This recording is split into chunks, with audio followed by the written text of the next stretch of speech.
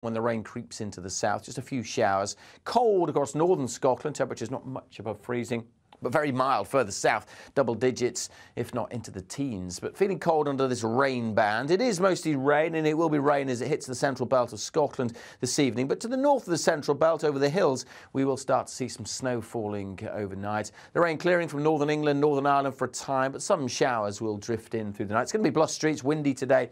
It stays fairly gusty overnight. That'll all add up to a fairly mild night. Temperatures staying at 7 or 8 Celsius across the south. Still some touches of frost in northern Scotland. Still the colder air here, so still some snow falling, especially on the higher routes for a time on Christmas Eve morning. Uh, for many, it's a bright and breezy kind of day. There will be some showers, mostly in the west, but a good part of the Midlands, eastern England, staying dry and fine through Christmas Eve. And it will be mild, double digits almost across the board. Still fairly cold though across much of Scotland, especially where the rain and hill snow persists. More showers coming in during Christmas Eve evening, so it could be quite lively out there. Some heavy bands of showers moving through on gusty, gusty winds, and that's how we go into Christmas Day. Christmas Day looking drier for many, some rain in the southeast, wet in the uh, northwest, and then it turns colder for all of us on Boxing Day.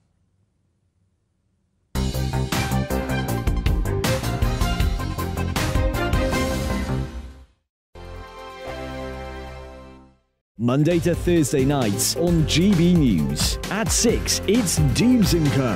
7 o'clock, Farage. At 8, join Mark Steyn. And at 9, Dan Wootton Tonight, followed by headliners. On TV, radio and online. This is GB News. Here on GB News Live, we'll be keeping you in the picture, finding out what's happening across the country and finding out why it matters to you. We'll have the facts fast with our team of reporters and specialist correspondents. Wherever it's happening, we'll be there from 12 noon on TV, radio, and online. GB News, the People's Channel, Britain's news channel. Hello, I'm Michelle Dewberry, and you can join me every weekday 6 till 7 on Dewbs and Co. Me and my panel will get stuck right into the day's events, and I can tell you, in fact, I can warn you, expect some robust debate, some strong opinions, and perspectives from both sides of the fence. It's about you at home as well. I love to read out all of your comments, or at least as many as I can. So join me, Michelle Dewberry, Monday to Friday, 6 till 7 on Dewbs and Co. We are GB News, the People's Channel. Why not take us home with you by visiting the GB News shop at gbnews.store? You'll find all the official merchandise, a really good present actually for yourself, your friends, or your family. We ship across the UK mainland at no extra cost. GB News, the People's Channel. I'm Mark White. As GB News Home and Security Editor, I cover those key issues that are so important to you. Our authorities, our communities doing all they can to combat violent crime. With the public services under unbearable strain, why are we still failing to control our borders? Defence, the first priority of any government, has been continually hollowed out. Can we trust our politicians to protect the armed forces? Join me, Mark White, on GB News. We are GB News right across the nation. You can get us on television, on radio, on digital. We're absolutely everywhere. Amazing. You see, amazing. You remind me of me in the European Parliament. But here's the most important bit we are not part of the mainstream establishment. We think and speak just like you do. We are the People's Channel. Magnificent. That's really, really thoughtful. Come and join us on GB News, the People's News Channel.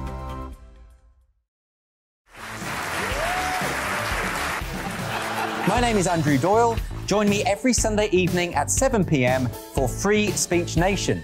This is a show where we address current affairs and news stories of the week with the help of two wonderful comedian panelists. I brought in comics because I want to give it a lighter edge and also they work for less.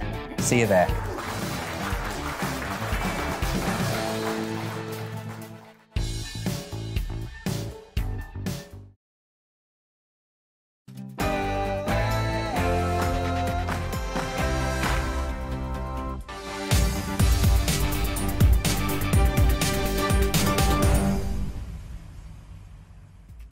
Well, a very good afternoon, everybody. You're with me, Patrick Christys, right here on GB News. Now, everyone is winding down for Christmas, but we're not, because there's a giant stocking full of news out there, and we're going to do the absolute lot of it Border Force officers have taken the day off. Some people might be wondering where they've been. Year after year after year of record numbers, people crossing the channel.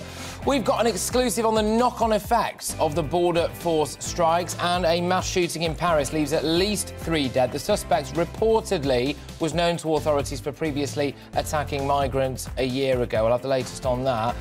I have the tireless campaigner for women's rights, the wonderful Kellie-Jay Keen, to react to the news that women's rights actually took a battering in Scotland yesterday. Male rapists will now be allowed into female spaces should Westminster block the gender recognition bill, despite the constitutional consequences of it.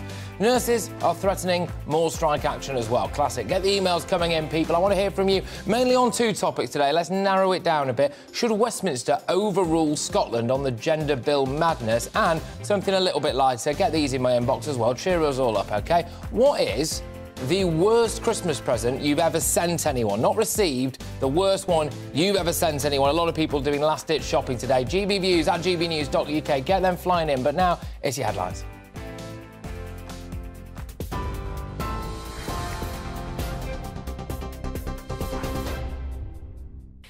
Good afternoon. It's coming up to two minutes past three. I'm Rhiannon Jones in the GB newsroom. Three people have been killed and several others wounded after a gunman opened fire at a Kurdish cultural centre in central Paris. It's been confirmed those who died were from the Kurdish community. Live images show locals gathering outside the centre this afternoon to pay their respects. A 69 year old suspect has been detained by police in connection with the attack. According to French media, the suspect was known to police and allegedly attacked a migrant camp last year. The Health Secretary's called the latest strikes by nurses on January the 18th and 19th disappointing and says they're in no one's best interests. The Royal College of Nursing says the walkouts will go ahead unless the government opens negotiations over pay. Meanwhile, the GMB's called off a post Christmas strike by ambulance workers in England and Wales. They'll now strike on January the 11th. The union's National Secretary, Rachel Harrison, thanked the public for their support. The public are deeply worried about our NHS, and we are too. People across the country have been incredible in backing our members and NHS workers, and we care so much about them. That's why we are suspending the proposed GMB industrial action on the 28th of December. We know the public will appreciate being able to enjoy Christmas without any additional anxiety. Meanwhile, the Prime Minister's apologised for Christmas travel disruption following strike action by Border Force staff today. What do we want? 10%! When do we want it? No! Heathrow, Gatwick, Birmingham, Cardiff, Glasgow, and Manchester airports are all affected. However, Heathrow does claim it's operating as normal.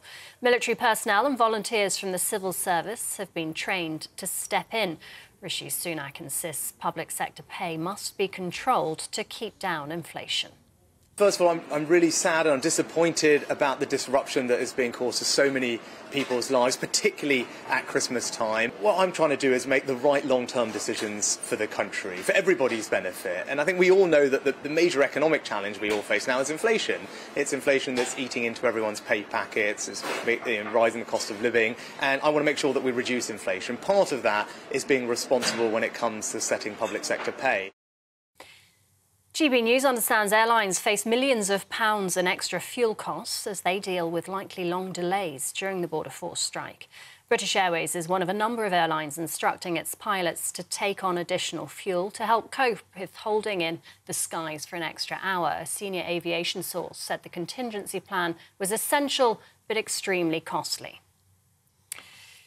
The Prime Minister says it's completely reasonable for the UK government to consider blocking new gender legislation in Scotland. Rishi Sunak's comments come after MSPs voted yesterday to pass the Gender Recognition Reform Bill. It lowers the age when people can apply to change their legal gender to 16 and removes the need for a medical diagnosis. Holyrood has warned any attempted intervention from the UK government will be vigorously contested. A powerful Arctic storm is sweeping across large parts of the US and Canada, with temperatures plunging to as low as minus 45 degrees.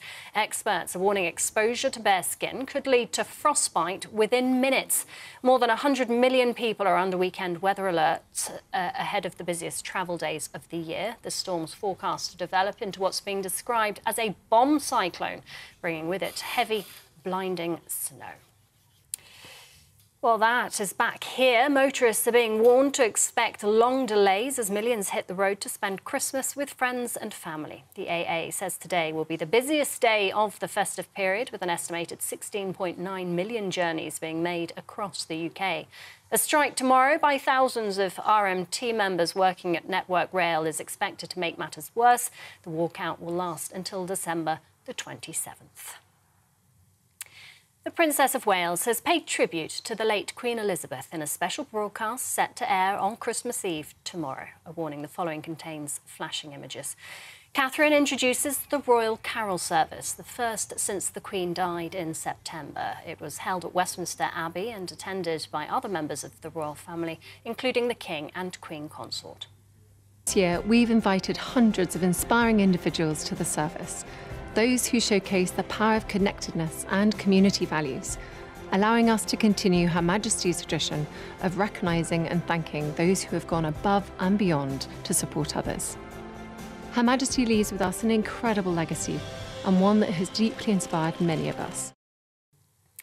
And George Cohen, part of England's 1966 World Cup winning team, has died aged 83. Cohen played every minute of the victorious campaign on home soil and in total won 37 caps for his country.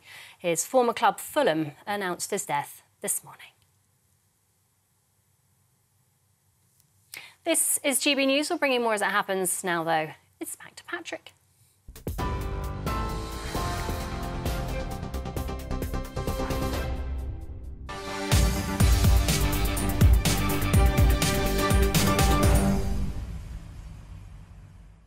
Hello, wonderful people. It's Patrick Christys here on GB News, and we've got loads for you today. Don't worry, I will be trying to keep it a little bit lighter towards the end of this hour as I ask you to tell me the worst Christmas presents you've ever sent anyone. I've already asked you the worst ones you've received. This time, I want to know what a terrible son, grandson, daughter, wife, husband you are, basically. Get the fun coming in. gbviews at gbnews.uk. I've got some classics in there myself. Anyway, right, no prizes if you guess today's top story, though. It's more strikes. This time it's Border Force staff walking out, causing disruption at airports across the UK. I know a lot of people are already emailing in saying, where have they been with the record numbers in the channel? But yes, we'll get stuck into that. Members of the PCS union have included as well staff at passport controls are beginning eight days of industrial action. It's part of a dispute over pay, pensions and job security. Employees have walked out at Heathrow, Gatwick, Manchester, Birmingham, Cardiff and Glasgow airports. They're also striking at the ports of Newhaven. Earlier, the UK Border Force Chief Operating Officer Steve Dann said that he didn't think there'd be significant delays because of the strike. Well, we've done a lot of work to try and reduce that, minimise any delays at all, working with the operators, as you're probably aware. Uh, that's the airlines, the airports. Uh, we've had lots of meetings with those and we're very, very grateful for the support they've had.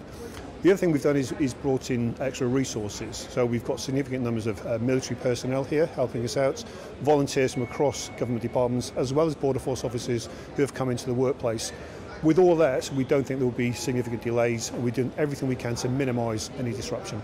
My job is to manage pressures, uh, is to move resources, is to identify where the, uh, the threats and risks are. Uh, we are about border security, let's be very clear, and border security will not be compromised in what we're doing. And so I'm making sure that we have the right resources, the right trained resources in the right place to keep the UK's border safe and to ensure a, smooth flow of uh, passengers through the border. Well, lots to talk about when it comes to the border strikes, but also on those strikes, GB News has been told that airlines are facing millions of pounds in extra fuel costs over these strike days. That's because jets may have to circle for longer in the sky because of airport delays. Joining me now in the studio is our Home and Security Editor, Mark White. Uh, Mark, Let's start with the Border Force strikes then, initially. So what's actually happening and is it actually going to impact people generally? I mean, fuel on planes, Mark, you're going to have to sell it to me. Well, it's very important because at the end of the day, you, when you want to go on your next flight off to some holiday resort in the tropics, are going to be paying extra for your ticket because of the fuel that they're now having to uh, put on the, the flight for the potential of circling round in the hold as they're coming into hub areas like London. Anybody flying into London anyway will be aware that quite often for many minutes you're circling round waiting for your landing slot. Now we've seen an internal email from British Airways instructing its pilots to put an additional hour's worth of fuel. Now that equates, if you take a flight from uh, New York across the Atlantic mm. to London, depending on the, the, the, type of aircraft, but it's roughly about £27,000 to fuel that aircraft yeah. for the trip. If you're putting an extra hour's fuel on, it's about six and a half thousand additional wow. pounds required. Then multiply that over many, many thousands of arrival flights into these affected UK airports during the time of the strike. You can see it's many, many millions of pounds mm-hmm. that airlines that have been absolutely hammered by COVID, uh, the pandemic months and years mm. as it stretched on, were very destructive for the airline industry, with many thousands of jobs uh, that were lost within that sector. They're rebuilding slowly but surely the people are coming back mm. and now they're being hit by this. Well, this is it. I mean, the strikes right across the country in all different sectors. Public health has been affected, transport has been affected, national security potentially being affected by this, and now, crucially as well, because aeroplanes are pumping themselves full of even more fuel, the environment. I mean, maybe this is how we get these strikes stopped when Greta Thunberg pipes up and goes, hang on a minute, have you seen the desecration we're doing to the ice caps here? You've got to get back to work. But on that national security element, Mark, I'm concerned, I'm sure a lot of people are, when they hear the word border force, they think of the channel, they think of terror threats, they think of whatever. And if they're not there, to me, that screams danger. Yeah, and we've got the chief operating officer from Border Force that you heard or saw in that clip as well, saying that, you know, they're managing and they have the resources on passport control. But the fact is, those men and women of the military and other agencies who've been brought in to help are not fully trained professional border staff whose job it is to look out for mm people that might just not be right, that, you know, that give off some tell signs, as far as they're concerned, that say to them, this requires a bit more of an investigation as to who this person is, where they've come from, and what potential threat they might uh, cause. So mm. when you're asking a member of the military to step in and do that, yeah, they can open up a passport yeah. and look and see that your face matches the passport they've been given. But you don't necessarily have that years of experience that a Border Force agent would have no. to do that same job. No, absolutely. I won't ask you why, in your opinion, I keep getting stopped at border checks. So I think we'll leave that for a show later on. Because you're a happy-go-lucky face and they just want to chat to you. Well, that's what it is. Sometimes they want to get very personal with me. But when it comes to the military stepping in, obviously yet another incident that the military are having to fill the gap for. Just out of interest, the Border Force, what do they want? It's just all about pay, is it? Yeah, the paying conditions that, uh, as so many of these strikes right. are at the moment. I mean, Border Force say that actually it's going very smoothly. Um, many people have said it's going more smoothly than it would on a normal day when Border Force are there and manning the passport controls. But that shouldn't be surprising because lots of people have probably made alternative flight plans, uh, fearing that there would be significant disruption. Mm. They've also, uh, the authorities, uh, poured extra resources into these passport controls with the military and alike to ensure it goes as smoothly as possible. We've eight days of this. Let's see how it goes on day two or three or yeah. four. Um, I wouldn't quite put the, the sort of no. the bunting up yet to celebrate how smoothly things have gone. No, and of course, as well, if it is going smoothly, it would imply maybe people are being waved through, although I'm sure they're not. Now, I am being told furiously that I have a Border Force clip to play, so let's do it. What it could lead to is, is flight delays and flight bunching. But again, this, this is what we do uh, on a day-to-day basis. We manage the business as usual, changes in, in approach, flight bunching, uh, and we have the resources and the contingent resource able to respond to that. Yes, you too might recognise that clip from just a couple of minutes ago, but there we go. We well, can't was, get enough he was of Mr. talking Dann. there actually just about you know the, the potential effects on the ground, Patrick, if you've got all of the huge passport queues, because what you would get are the airlines saying to the individual uh, or the, the airport saying to the individual airlines, keep keep your, your passengers on the plane at the flight gate. Mm-hmm. Uh, don't disembark them at the moment. And then, of course, there's nowhere for the arriving aircraft to go. They're all sort of racked and stacked. And that's what he was alluding to there. OK. Uh, now, obviously, the Border Force strikes are very serious for anyone who's travelling in this country or looking into this country or, and all of that stuff. But there is another very, very serious incident that, as we understand, is potentially still unfolding in one way or the other in Paris. And, Mark, I'll throw this one over to you. There has been a shooting in Paris. Yeah, and as we speak, uh, I think we're hearing from the French Interior uh, Minister who's giving an update on this. But the latest we have is that three people have died. Another four people have been injured, two critically. Uh, as say the Interior Minister might have uh, more up-to-date information uh, on that casualty list. A 69-year-old man is in custody. He is the suspected shooter. This incident happened in the 10th arrondissement in central Paris, not far from the Gare du Nord railway station, mm. uh, for those that know Paris uh, and it was a Kurdish cultural centre that seems to be in the epicentre for this shooting attack. You can see the emergency services there. A huge response for, from them. Uh, Paris, no stranger to terrorist attacks in recent years. And of course, when these attacks happen, the first thing that most people will think about is Islamist terrorist attacks. That is by far the predominant threat that is facing Paris, London, and many other European cities. Mm. On in, in, this particular occasion, though, it seems that it may have been uh, a right, far right motivated attack. Again, we'll wait to hear the information, but the suspect, okay. we're told, is someone who was recently released from prison uh, and had been arrested and charged okay. uh, in connection with a racist attack on a migrant camp in Paris about a year ago. OK, Mark, look, thank you very much for that. You will, of course, be keeping us up to date throughout the course of the day on those border force strikes and on that incident in Paris. Mark White, their home and security editor. Now, by the way, just a little bit of a tease of something I've got coming up shortly is we have the wonderful Kellie-Jay Keen, who we will all know, we will all know as the fearless, tireless campaigner for women's rights. She is going to be reacting, one would imagine rather furiously, to what's been going on north of the border in Scotland, where basically women's rights essentially have been massively eroded by this gender recognition bill, which would see, potentially anyway, male, very much male, rapists allowed into women's spaces. This was waved through last night. Huge controversy, huge reaction. We'll get all of that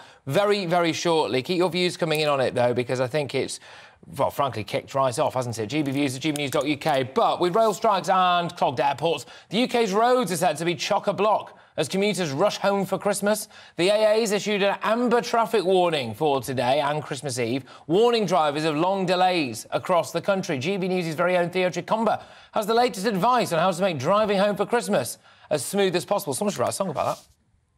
It's two days until Christmas Day, and millions of people are expected to be travelling across the UK. The motoring company AA estimate there'll be around 16.9 million people on the roads today. Meanwhile, the RAC say do travel after 7 p.m. this evening, as if you travel before, you're likely to come across traffic and, of course, come across those who are commuting from work this evening. If you're travelling in London, Transport for London TFL are saying travel only if necessary, but if you do need to travel, do expect delays. And also for those who are travelling by air, going to airports today, Border Force workers will be striking today. And if you are travelling by boat from Newhaven in the south of England do expect delays there as well as Border Force staff work in that area. And of course, the next few days we're going to have RMT union strikes uh, from tomorrow until Monday the 26th.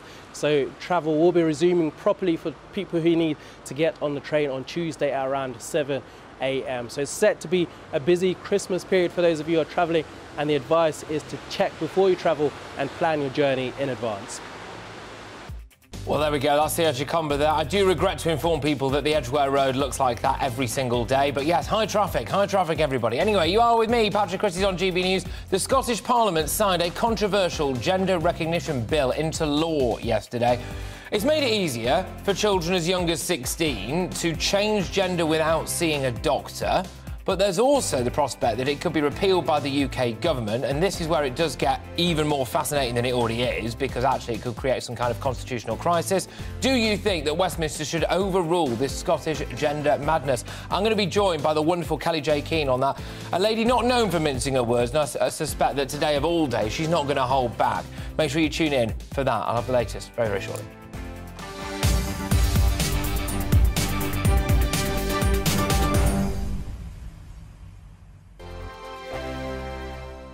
Monday to Thursday, 9 pm till 11 pm. Join me, Dan Wootton. I'll bring you the sharpest takes and hottest debates. Do you okay. not believe in prison? I, I don't believe in prison. I'm completely right. stunned. I guarantee you there'll be no spin, no bias, no censorship. I actually was personally quite offended by it.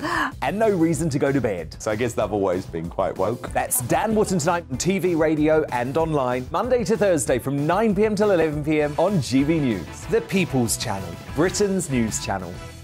Every morning from 6 o'clock, we'll wake you up with GB News Breakfast with all the stories you didn't know from the night before. So, whether it's serious news, entertainment, or your own views from all over our great nation, we're here to kick off your day with a smile. And the national media should be reflecting and reporting what's happening here. You will notice the Northwestern accents.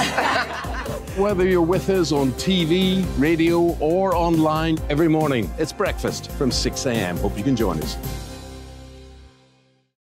Join me every Sunday at 6 pm for Gloria Meets. In exclusive interviews, I'll be finding out who our politicians really are and what they really think. It's something that you would never want anyone to suffer. I didn't know what channels there were. B, I didn't think I'd be believed. I must have weighed about seven stone and I'm five foot eight. My instincts was to sort of cover this up. I mean, clearly that was a mistake. Join me every Sunday at 6 pm on GB News, the People's Channel, Britain's news channel.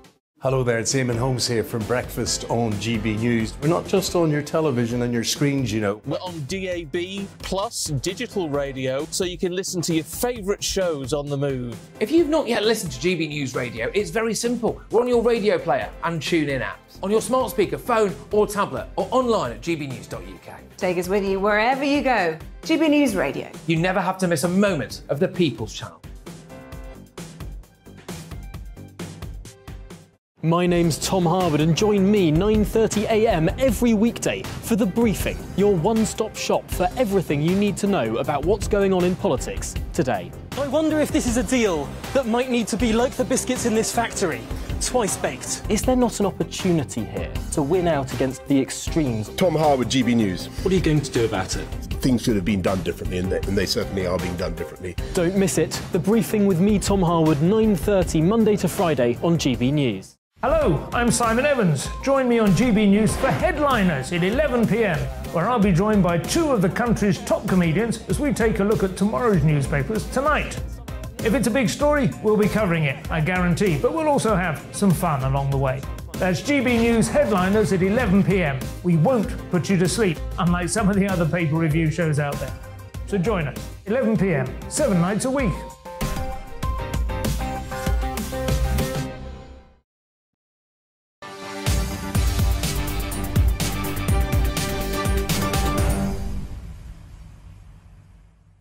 Okay, ladies and gentlemen, I went to bed genuinely angry last night. It was because of something that happened up in Scotland yesterday. I'm sure you're all aware of the utter madness that took place there. Well, the Prime Minister, Rishi Sunak, has said it would be reasonable for the UK government to consider blocking new gender reforms in Scotland. The past week's seen intense debate at Holyrood. That's over the Gender Recognition Reform Bill, which has remarkably been passed. It's intended to make it easier for trans Scots to obtain a gender recognition certificate, which all sounds relatively well meaning, although that in itself is controversial. However, there are a load of knock on effects to this the irreversible damage to children, and of course, women's safety, Westminster could effectively veto Sturgeon's legislation if it's believed to have an adverse effect on laws the UK Parliament has jurisdiction over. Joining me now, and I'm going to get straight to her because I think we've all heard enough of me on this issue, is a women's rights campaigner and founder of Standing for Women. It's Kelly J. Keane. Kellie, how did you feel yesterday at the video that emerged of a group of elected politicians standing up and applauding a group of men who'd pushed for a bill to erode women's rights? Oh, it was quite grotesque, wasn't it? Uh, how I felt, I don't know. It was between being utterly bereft and completely enraged. so it was, it was like a trans hybrid feeling. I like it, right? Okay, all right. What, in your view, will this bill lead to? Oh gosh, the consequences are so enormous. From, I mean, Scotland's already been pretty poor when it comes to women's spaces anyway, um, which is why J.K. Rowling recently opened um, a domestic violence rape crisis type centre just for women, because there aren't any. Uh, in certain areas of Scotland. In fact, there aren't too many in, in England or Wales either because everyone's far too frightened to exclude men from those spaces. So you have uh, domestic violence shelters, you have every single space women have carved out for ourselves is now completely vanished, evaporated because men can just identify uh, their way into them. And then, as far as children go, I think this this might be a first step uh, for Scotland. To be quite honest, I mean, Spain's just done it so you can uh, legally change your sex marker um, at the age of twelve, as long as you have uh, some sort of corrupt judge to agree with you. So we really are in um, end of days kind of territory. It's really scary. The response from quite a lot of people to this is well, look, it's only a small number of people that would conceivably abuse this law to find themselves as male rapists in a woman's space. What do you say to that? Well, there's 35 million men in the UK, and only 12,000 of them are serving time for rape. So it's only ever a small number of men that raping women, but it only takes one. You only need one man to do it uh, for it to be catastrophic for women. Um, and the fear that we feel about going into spaces now, certainly in Scotland, I mean, where can women actually feel safe at all in that entire country? Why have they done this? I don't know what their motivations are. I really can't see past uh, not caring about women, um, not caring about the safety of women, not caring about the dignity of women, not seeing women as fully human, um, a, a, mediocre power grab. I mean, it can also be like the first, uh, apparently, the first debate back after uh, Christmas is going to be Scottish independence. Maybe this is some sort of dodgy little um, backroom deal I, I, have no idea. Nothing good. There is not one good reason I think that they could possibly be doing this. Not one. It's not just the SNP. Labour, they whipped their politicians to wave this through. The Greens and the Lib Dems as well. Have they all been mm. captured by what is becoming an increasingly fashionable trans ideology? I think so. I mean, look, right across this country, there are women still too frightened to speak, even though they've now just watched an entire country lose women's rights. And there's still women too scared to speak up. Uh, these politicians are too scared to speak up. They're too frightened of not being elected, which is why the House of Lords has been absolutely um, a godsend in these times. Uh, but as for Labour, I mean, what are they doing? Are they just hoping that the whole of Twitter might vote for them? Because it's not going to be people that are worried about the cost of living crisis this year. It's not going to. They're not going to win back mm. uh, Labour voters with these idiotic policies. Should Westminster overrule this? Oh, yeah, that would just be so beautiful. What a lovely Christmas miracle if they could if they could just overrule it. I think it will have consequences. Can, for example, my 16-year-old daughter, can she just pop north of the border, uh, become a boy and then come back to England and then everybody has to treat her as a, a boy? So yes, I think the ramifications are huge. I think we have no choice but to block it. Can I ask you something and hear me out a bit on this? But one of the positives, if not the only positive, that I could try to muster out of this last night as I was on my way home was that maybe now this really crystallises it for people. Uh, Kellie, OK, all right, sorry, stay, please stay where you are, Kellie. I'm just getting something in my ear, I'm afraid. Sorry about this. Uh, I'm going to be told that I've got to go live to Paris, where three people have been killed in a shooting at a Kurdish community centre. It looks like members of the Kurdish community have gathered there and are clashing with police. I think we've got some footage of this. This is live from Paris right now. So earlier on in the day, a 69-year-old man reportedly, allegedly shot dead three people in the 10th arrondissement of Paris. Supposedly four other people are injured, two critically. It's understood that it was either at or near a Kurdish community centre, and the individual who is believed to have carried out this attack is a 69 year old man who was reportedly known to police for attacking a group of migrants in a tent, or in tents, I should say, last year. What you are watching now, if you're watching us on television, if you're listening on radio, you can hear what appears to be smoke billowing out of the street. It may well end up being tear gas. We're not 100% sure at the minute, but the fact is that what we can see is clashes or protests anyway involving French police and as we understand it at the moment anyway, members of the Kurdish community who have gathered in response to this earlier attack. We're going to keep these on the screen now, these images, because these are live images from Paris, and it does look like it's getting increasingly agitated. Mark White, our Home and Security editor, has just joined me in the studio now. Mark. Yeah, well, people there are clearly very suspicious of the authorities in Paris. They believe that uh, this is not being properly investigated. We're seeing these clashes erupting uh, now in the streets. Uh, that looks, from what I can see, to be tear gas further down the street. Uh, that won't have come from the protesters, that will have come from the French riot police, the CRS. Now, this uh, location that you're looking at is the 10th arrondissement, which is in central Paris, not far from the Gare du Nord railway station in Paris. I mean, uh, you know, Paris is a huge multicultural city. There's a big Kurdish community in Paris. They feel that they have been under attack, they say from the far right. Um, um, the far right, of course, in France, increasingly uh, vocal in their opposition to the growing number of migrants in that country and the problems that they see uh, mass migration having uh, in France itself. So there are, you know, just as there are in this country, you know, increasing tensions, well, those tensions are much more significant and being felt on a daily basis uh, in cities like Paris, in Marseille particularly as well, uh, which is a very ethnically diverse city, as so many of France's big. I'm just uh, having a look at what we are. can see on the screen there, Mark, and Oh, it's a hammer and sickle on one of the. hammer and sickle on one of them. There, partisan is another flag. These are the, the demonstrators, basically called at this stage anyway, who appears to be waving these in, and massing on the streets, chanting taking place, and well, it's yeah, and the camera's panning round now, and we can see. I mean, it's hard to estimate, but it does appear to be well, definitely in the hundreds of people gathering there around the 10th arrondissement. A lot of them, Mark, with phones in their hands, recording the whole thing.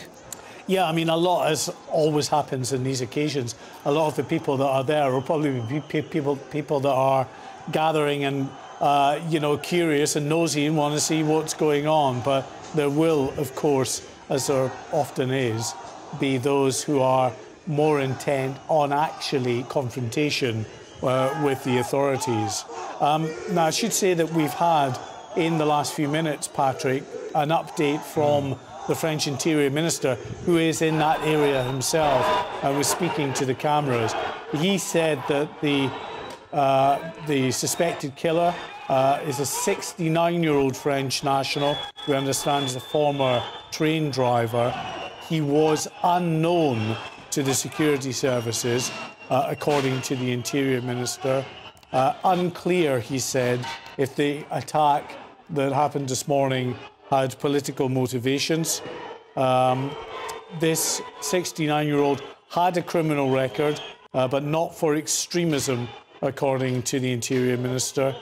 Uh, and he was not known to be a member of a right wing group.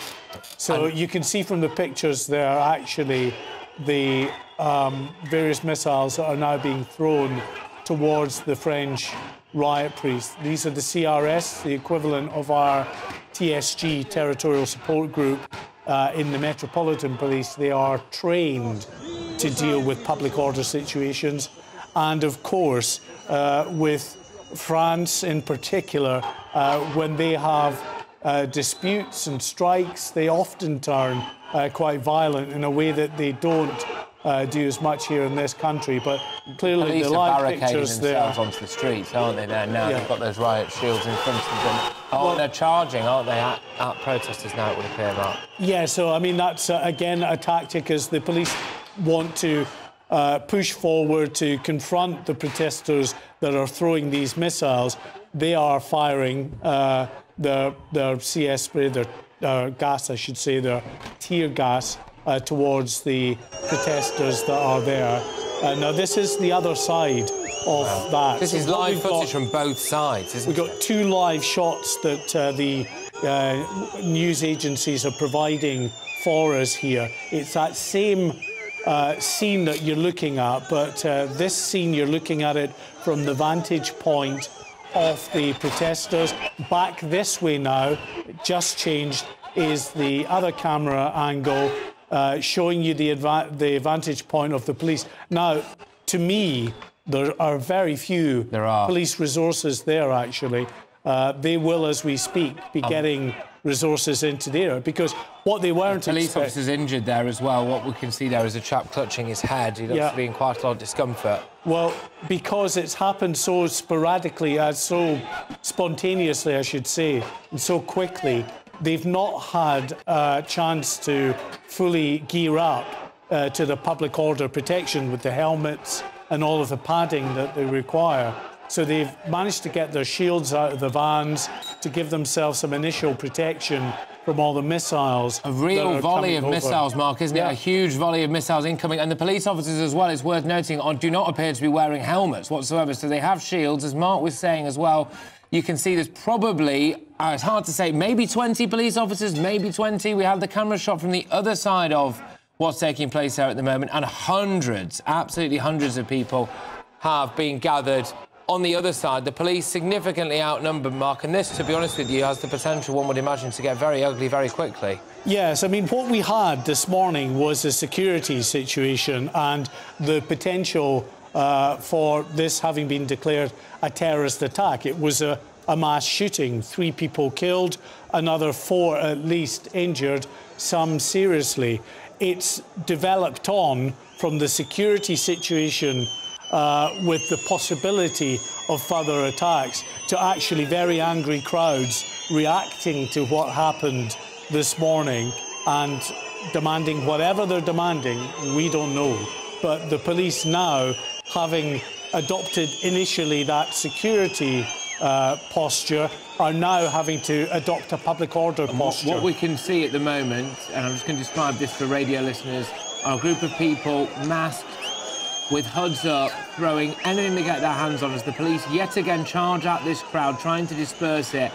A cameraman there right in the middle of this, and we're on the other side of it now, and we're on the other side, so we're on the side where one would imagine it's a lot of protesters who are clearly angry at the fact that earlier on today, three people died, four people injured, two critically, after a 69-year-old man, known to authorities as we understand it, opened fire at a Kurdish community centre. You can see that protesters now are covering their noses and their mouths and their eyes are streaming because of the tear gas that the police have deployed.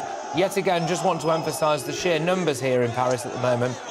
There is several hundred, easily several hundred people from, I don't want to call it the Kurdish side because we don't know that exactly yet, but from that element of proceedings, massively outnumbering the police who are essentially trying to kettle them in, I suppose you could say, Mark. Yes, I mean, what will be uh, the, the tactic of the police uh, in a, a public order situation like this is to try to contain the situation. They don't want it spreading out into other se- uh, sectors of the city. So you've got these relatively narrow-looking streets in the 10th arrondissement in central Paris. Uh, you've got a crowd of several hundred people there. Not that many police at the moment, but le- reinforcements will be on their way to that central Paris location.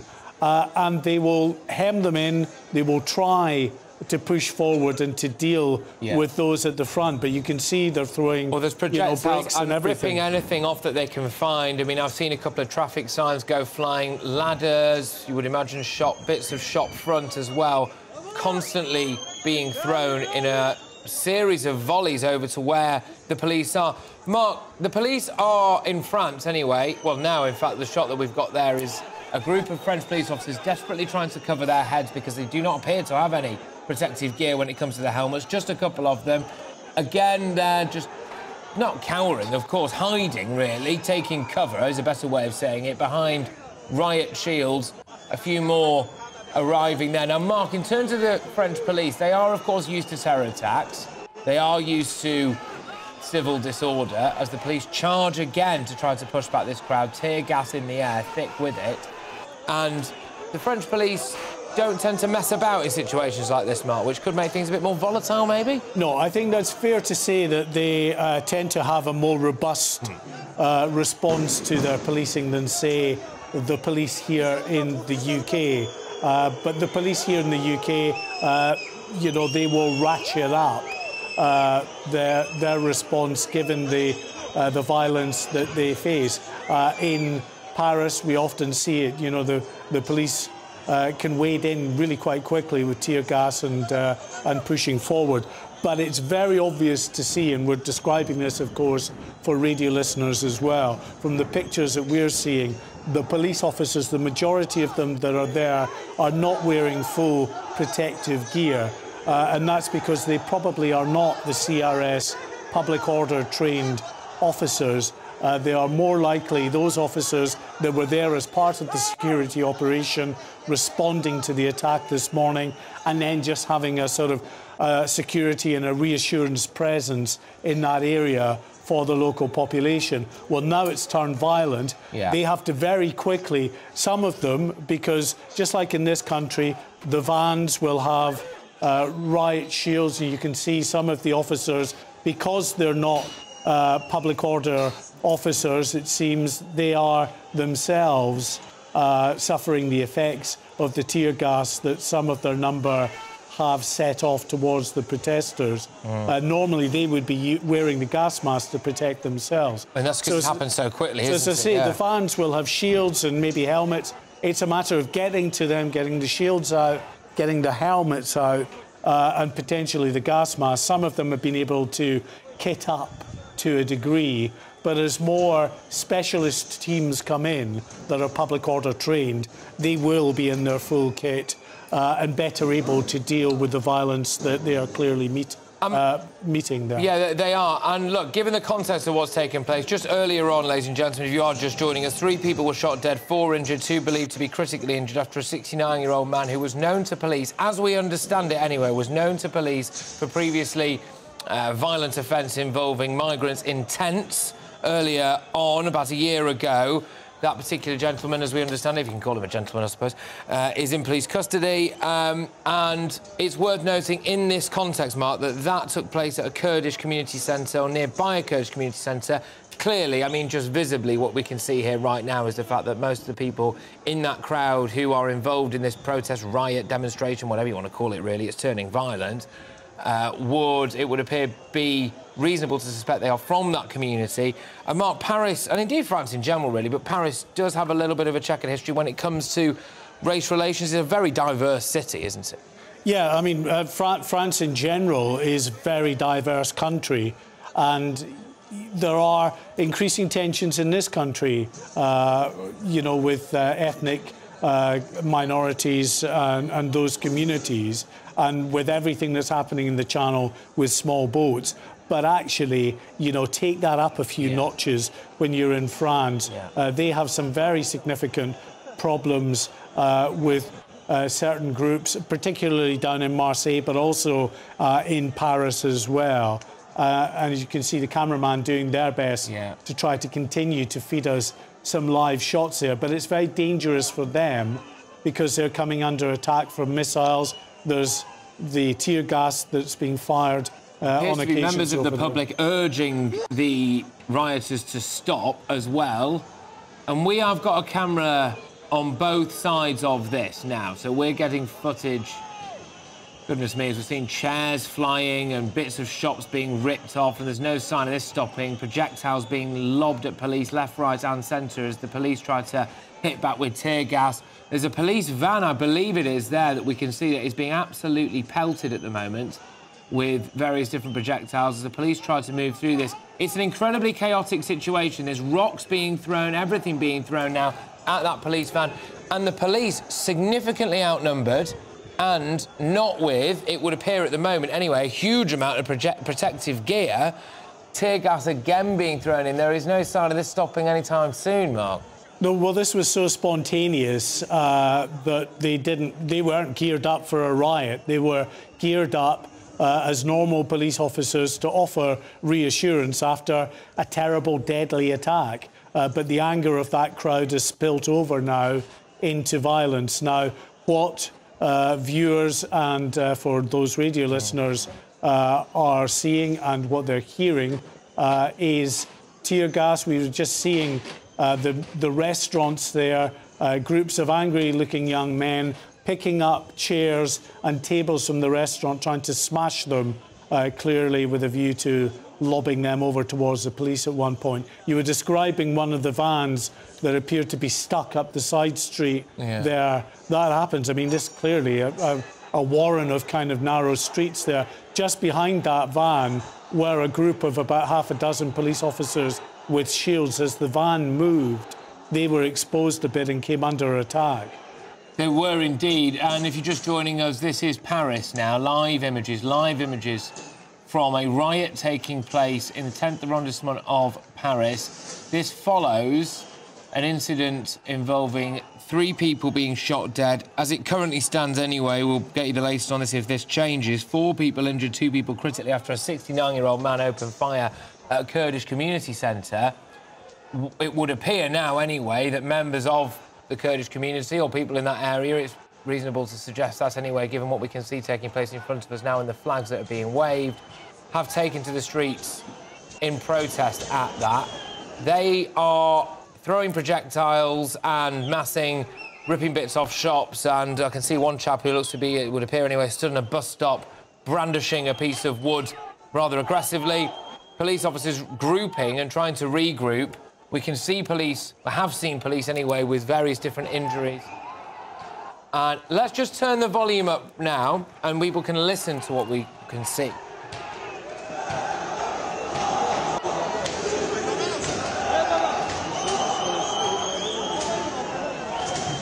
The noise there of the crowd.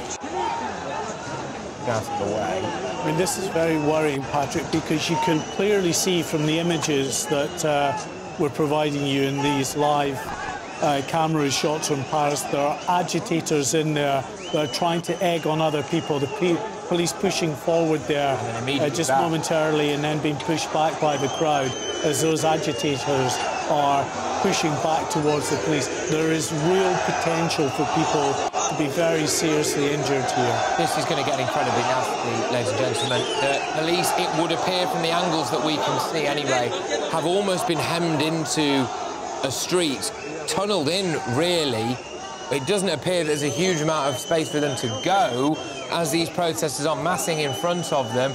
It is violent, it is aggressive, and it's difficult to see how this stops as there's a chap there with a chair again, throwing it around the place. Lots of men there, pretty much all men from what we can see, masked, hats on, hoods up, balaclavas, and this is clearly taking place across rather a large section. And there appears to be a fire breaking out now further down the street. There is definitely a fire. Something has been set on fire in the middle of that street. And I think what we can see from that camera angle is almost like the border between the police and these protesters. It looks as though it's to the side of a vehicle. It may be the vehicle itself. Um, or it could be, you know, they've got these big bins in the Yeah. streets as well that are much easier to set fire to. But the real concern here is that you see a situation similar uh, to the situation we had uh, in Tottenham uh, in 2011. I think it was after the death of Mark Duggan, where you have angry scenes that spill over into violence. and then real violence because Absolutely. what you get is buildings and vehicles set on fire. Now, if that's what we're descending into here, then it is very, very worrying, clearly, for French authorities and for people in that community. Remember that this, we think, is a predominantly Kurdish community. Uh, it's their shops and businesses at the end of the day that are going to be targeted by, you know, many people perhaps from their own community. But the, the fact is, and understandably, there's great deal of anger in this community this morning after this uh, shooting that resulted in the deaths of three people and more than four others injured, two of them critically. And it doesn't take much to spark a violent response. You just need a few agitators, and we can see well, it's from the shots that there are plenty of people taking up that particular uh, duty of trying to uh, push people on. And what we can see now, we described to you a little bit earlier on about a fire that has just erupted in the middle of the street. And from the images that we're getting anyway, it appears like a cluster of bins, debris realistically, that's been been thrown at police previously, has been ripped off shop fronts, and that is now in the middle of the road and it is on fire, which creates a permanent barrier, a permanent blockage anyway, between the police. The police had been trying to push these people back. More and more things are being thrown onto this fire now. And it, in fact, it's turned into a full-scale barricade. I can see mesh there, I can see bins, I can see all sorts of stuff that is being lit, flags being waved. This crowd certainly not getting any smaller, that's for sure. Not getting any quieter. You can hear the whistles, the screams and the chants in the background there. And just to give you a scale of how quickly this has escalated, we were reporting probably around 15 minutes ago that the latest on this was that a 69-year-old man had been arrested after three people had been shot dead, four injured, two critically, in a Kurdish community centre in the 10th arrondissement of Paris. That man previously known to police for offences against migrants. And then quick as a flash after that, we started getting it through to us here that this had turned nasty and it had turned into, well, turned even nastier. Of course, it was already nasty. I mean, it was a terrible attack. But now it's turned into riots and we're getting angles, had previously been getting angles, I must say, from both sides of this. So we had it from the police's side, so behind the police as they massed and then from the protesters' side, from what we can gather now anyway, we appear to have it pretty much from the protesters' side, but two different camera angles, which implies that the boundaries have moved somewhat. People rubbing their eyes, people streaming with tears, and that tears coming from the tear gas mark. And you mentioned earlier that the police were so significantly outnumbered that they were going to have to regroup, they were going to have to get reinforcements. That appears to be happening. I have not seen a police officer for a little while now because they're clearly holding a line further down the line. And instead, what this has made possible is for a big fire to erupt in the middle of the street and hordes of people. Now, actually, we can see the protesters, the rioters, coming forward even beyond that line, throwing projectiles as they go, Mark. Yeah, it's, it's those agitators again at the front that are trying to uh, cajole and uh, signal others within the main group and body uh, to push further down towards the police. This is very dangerous for those camera crews that are out there as well from the news agencies, Reuters, Associated Press, and others uh, who are providing these live pictures.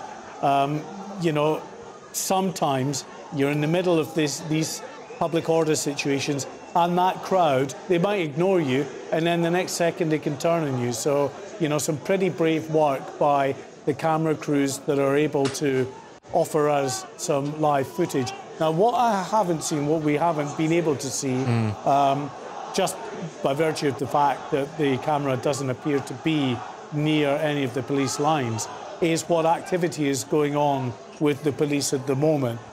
Uh, they will be uh, expanding their numbers. It will take officers additional time because they will be in all parts of Paris uh, to get to that location.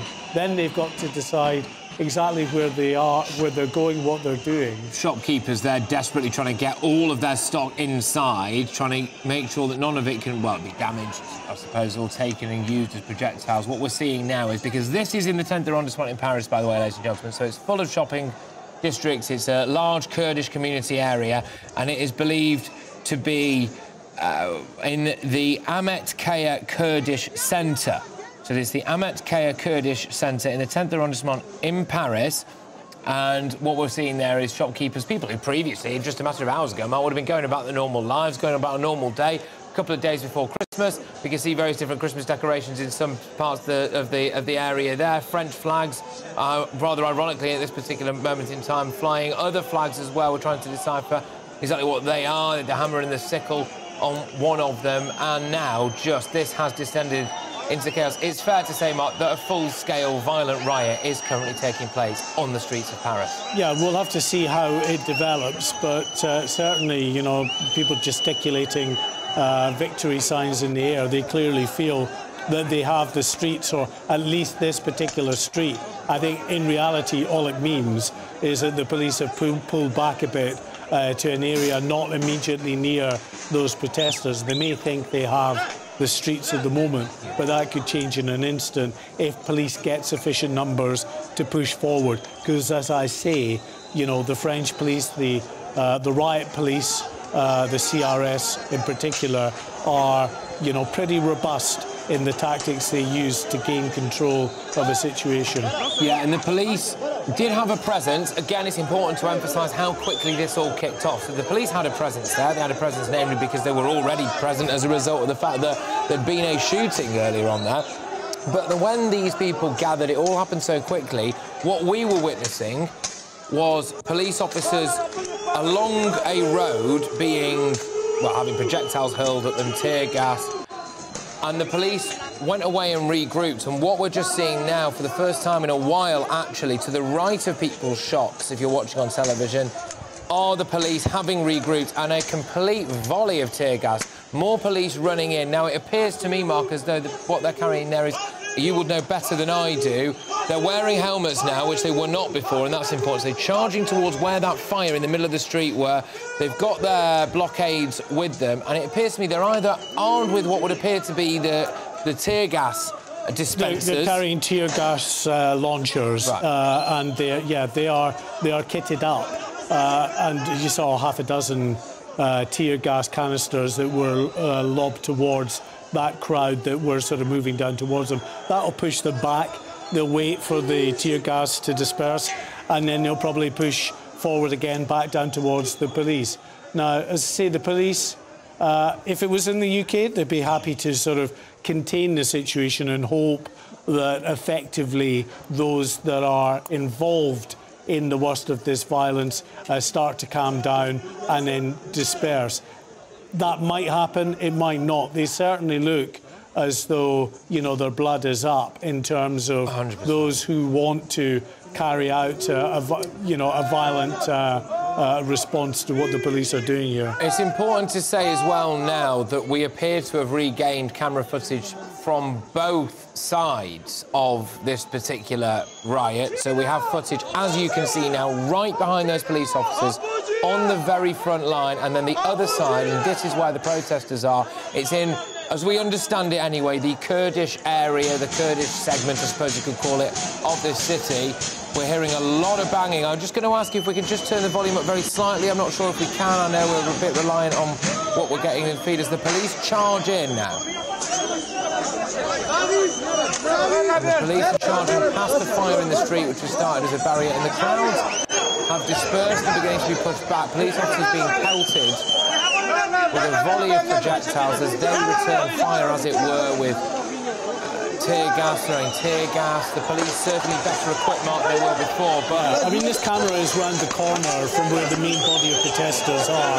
So at the end of uh, a street that we're looking at here, to the left, that's where the protesters are. You can see it better from this angle, further up where that bonfire is, and now the camera switched to that other side. It keeps switching back and forward, uh, but uh, you can see right up there, lots and lots of tear gas, and for those police officers uh, that are not uh, fully equipped, that don't have uh, gas masks and the like, it's going to be uncomfortable for them. For people out in the streets, it's uncomfortable. You can see a smashed up car there right next to where that main bonfire is. Uh, and then I think that's a photographer uh, trying to get one or two snaps and clearly in the line of. Uh, I mean, a word, by the way, just a word for the brave men and women who are holding the cameras in amongst this, showing you the carnage on that street now, the utter devastation on that street in Paris. just after this violent update. I mean, car windows smashed in completely cars destroyed, a fire in the middle of the street, shop windows and shop fronts absolutely battered and bombarded. And this is the street where, just moments ago, if you've been tuning into us for a little while now, you will see there were crowds of people on this street. Protesters, rioters, who'd set up a barricade and a fire. Now, this is interesting because it gives you a, an idea of exactly how fast-moving this event is. Just remember, this is in the middle of Paris, the 10th arrondissement of Paris, not very centre, but 10th arrondissement of Paris. And it is, of course, a normal city. So imagine this taking place right in the middle of Manchester, Liverpool, London, etc., moving from street to street. And we can hear, rather ominously, some loud banging taking place. I there. think that's probably the uh, the tear gas um, just, uh, uh, tear, tear gas launchers firing more uh, tear gas rounds up towards protesters. I don't know what that vehicle is, whether it's a civilian vehicle or possibly a police vehicle. They have lots of unmarked police vehicles that they would be using as well. But it's clearly come under attack with the back windows that have been put out there. Uh, but the protesters, as you say, Patrick, who were right down this street, have retreated further back up the street. Yeah. Um, the camera from that position, at least, isn't able to give us an indication as to where these people have gone. But they won't be far away. There was a fair uh, few in that crowd, a good few hundred people uh, who were there initially. Now, it may be uh, that they've decided to move on to a different area or to disperse, because clearly, if the police are Yeah. there now in significant numbers and are able to get to various streets around the core of where this violence is, then the protesters don't necessarily want to be hemmed in uh, and potentially the subject of a response and pushback from the police. Yeah, they are definitely being pushed back. I mean, the concern is, of course, they're just being pushed around a bit in that sense, in terms of around side streets and dispersing. It is such a fast-moving picture, ladies and gentlemen, but when this initially happened, there was, well, a handful of police officers, and Mark White and I were sitting here thinking this is going to get very nasty very quickly. It has got nasty. Now, what we can see is, again, this is now clearly moving throughout that 10th arrondissement in Paris as people are running through the street. Now, this is civilians, potentially people involved in that riot, clutching their eyes and their faces, the tear gas having an effect. And it's just important to remember as well to remind ourselves exactly where and how this all started. There was a mass shooting earlier on today, and that saw three people die, four injured, two critically. That's the latest as we understand it. We'll give you updates on that as and when we get it. From a 69-year-old man who had previous, when it comes to a migrant attack, an anti-migrant attack. This is now spilling out across various different streets in the city. It was originally, it would appear, hemmed into one, kettled in, and now it is spreading out. I am looking at footage from French media. This is on social media, from French media, and what I was able to see earlier on was a police van pull up down the street and be absolutely pelted to the point where it had to stop and the police officers inside it getting out and, well, making making away, as it were, making away. Uh, Mark, this is certainly not going to stop anytime soon, despite the fact the police have regrouped. Uh, yeah, I mean, and there's no doubt there are injured police officers, Patrick, because we saw them on the footage uh, a little earlier. Because this happened so spontaneously, uh, it took the police by surprise. They weren't there in a capacity of public order. They were there responding to what had been a terrible shooting attack. Uh, and in the aftermath of that, they were there, of course, to help reassure the population. But it's clear uh, people in that area were uh, very angry at what had happened, uh, and it only takes a few uh, agitators in a crowd to whip up a crowd, and that clearly happened uh, because they took the crowd with them. Uh, where that crowd has gone at the moment, we're not quite sure. No. From this angle, we can still see the bonfire further up the street, but it seems to be cleared from the several hundred protesters who are there. Yeah, and I'm just getting some more information through now, and uh, Gerald Darmanin, who, as far as I can tell, is uh, French. He's the French Interior, Minister, Uh, their equivalent of the Home Secretary. He said that the suspect, now this is in the shooting that took place earlier, the suspect was a shooter in a sports club, he says. he had declared many weapons, so he clearly had multiple different weapons. In response to that shooting, the police were then instructed to go to reinforce various different Kurdish areas, Kur Kurdish centres, shops, community centres. And in response to that, clearly a lot of anger in that community, not least, perhaps, because the individual, the 69-year-old man who was arrested in connection with the shooting at that Kurdish cultural or sports centre, depending on which report you read, was known to police and he had a prior police record, including an arrest for attacking migrants living in tents a year ago. Now, these are shots from earlier on, Mark, aren't they? And this was just as the police... It seems like a long time ago, doesn't it? It Yeah. wasn't. This is only half an hour or so ago, isn't it? Yeah, that, that was uh, police responding to the initial shooting uh, incident that happened about lunchtime today. You can so, see those armed uh, officers, uh, firearms officers uh, from the French. I mean, all French police are armed, but most of them would just uh, routinely carry a handgun, but those are clearly more specialist firearms officers.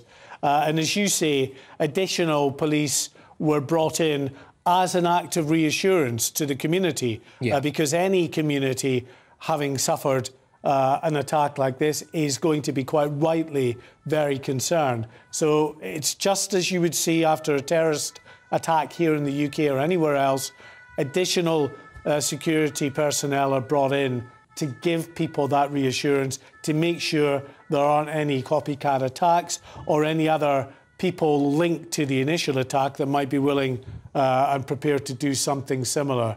Uh, so you always see that after. But the difficulty with putting a lot of police in to an area where you have a lot of angry people is they can they can really be the target for that anger. Li- live shots now, live shots, back to the live shots of what appears to be, well, it's a row, it is a complete and utter concourse of blue lights, whether they're ambulances or police. That's the Arc de Triomphe, is it? That is the Arc de Triomphe. I mean, actually, this is quite an iconic image, Mark, to be honest with you, because that is the Arc de Triomphe, and just either side of it, you have a riot taking place, and then you have um, police officers. Yeah, you see the line there. I was talking about uh, the the need to get as many. Sorry, just to confirm, that's not the Arc de Triomphe. Apologies. It's We're getting- another- it's another We're getting, uh, we're getting, we're getting a lot of fast-moving images here, ladies and gentlemen. I'm sure you can bear with us. Don't worry. But carry on, Mark. Yeah. Yeah. Uh, lots of beautiful arches in Paris if you ever beautiful, want to visit. But um, you can you can see actually just down past that arch, and I'll describe it for those radio listeners, is just a row of police vans, blue lights flashing, uh, some not with their flashing lights, but probably a dozen vans at least, because uh, what has been happening over the last 40 minutes or so as those officers who found themselves under attack from this crowd have been calling for uh, assistance and help from their colleagues. So they will have been coming from all parts of Paris uh, to come and to help in this area in the 10th arrondissement, so the 10th district uh, of Paris. And uh, that vehicle there, just coming into shot, is a paramedic vehicle from the uh, La Pompiers, the French fire and rescue service. Unlike in this country, the fire service in France also provide paramedic services. So that's one of their paramedic vehicles. They were there in significant numbers earlier today as well, helping out at the, the site of the earlier shooting attack. Uh, now they're being called back in uh, to this area with absolutely no doubt at all that there will be people who have been injured. We saw it in some of the images. Uh, police officers who'd come under uh, a hail of uh, attack from a hail of missiles. Some of them were injured, clutching their heads. There will also be those uh, civilians caught up in this who will be suffering from the effects of tear gas, as we've seen many volleys of tear gas now launched by the French police. Yeah, indeed. Now, it's worth noting that we have had a variety of different camera shots. The one that we are fixed on at the moment appears to show a group of people. Uh, I mean, it's hard for me to quantify, at least a dozen, at least a dozen, probably in the 20s actually, emergency vehicles, all with the blue lights on. And this is just at the spot or behind the spot where full-scale riots broke out a little bit earlier on. Now, I'm not sure if we have any other camera shots as well, just to maybe move around. We're going to stick with this one for the moment. We're going to stick this one for the moment. Um, now, it is a fast-moving picture, everybody who's been watching and listening. It started earlier on today, a couple of hours ago, a few hours ago, where three people were shot dead, four people injured, two critically, by a 69-year-old man who was known to authorities. He basically took a firearm, believed potentially to be numerous firearms, actually, into a Kurdish cultural centre.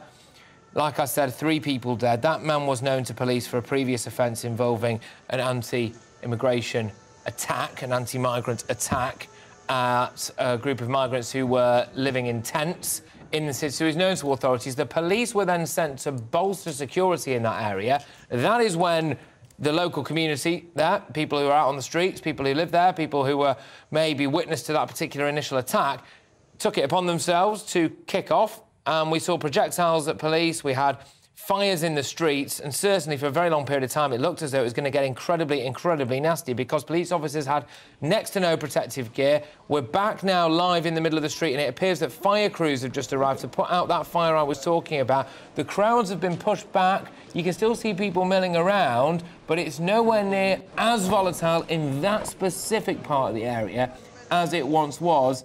The emergency services, Mark, no longer outnumbered, it would appear. No, no, you can absolutely see from the images that they're not outnumbered in this uh, particular area anyway, the dozens of uh, police vans there. Now, it's a good sign uh, that the fire service have been able to get in and to extinguish that blaze in the middle of the street, because clearly mm. that indicates that that street, at least, is now safe enough for them to operate, which means that whoever was there mm. have dispersed. Now, whether they've gone to another area where the cameras are not at yet. Uh, we don't know.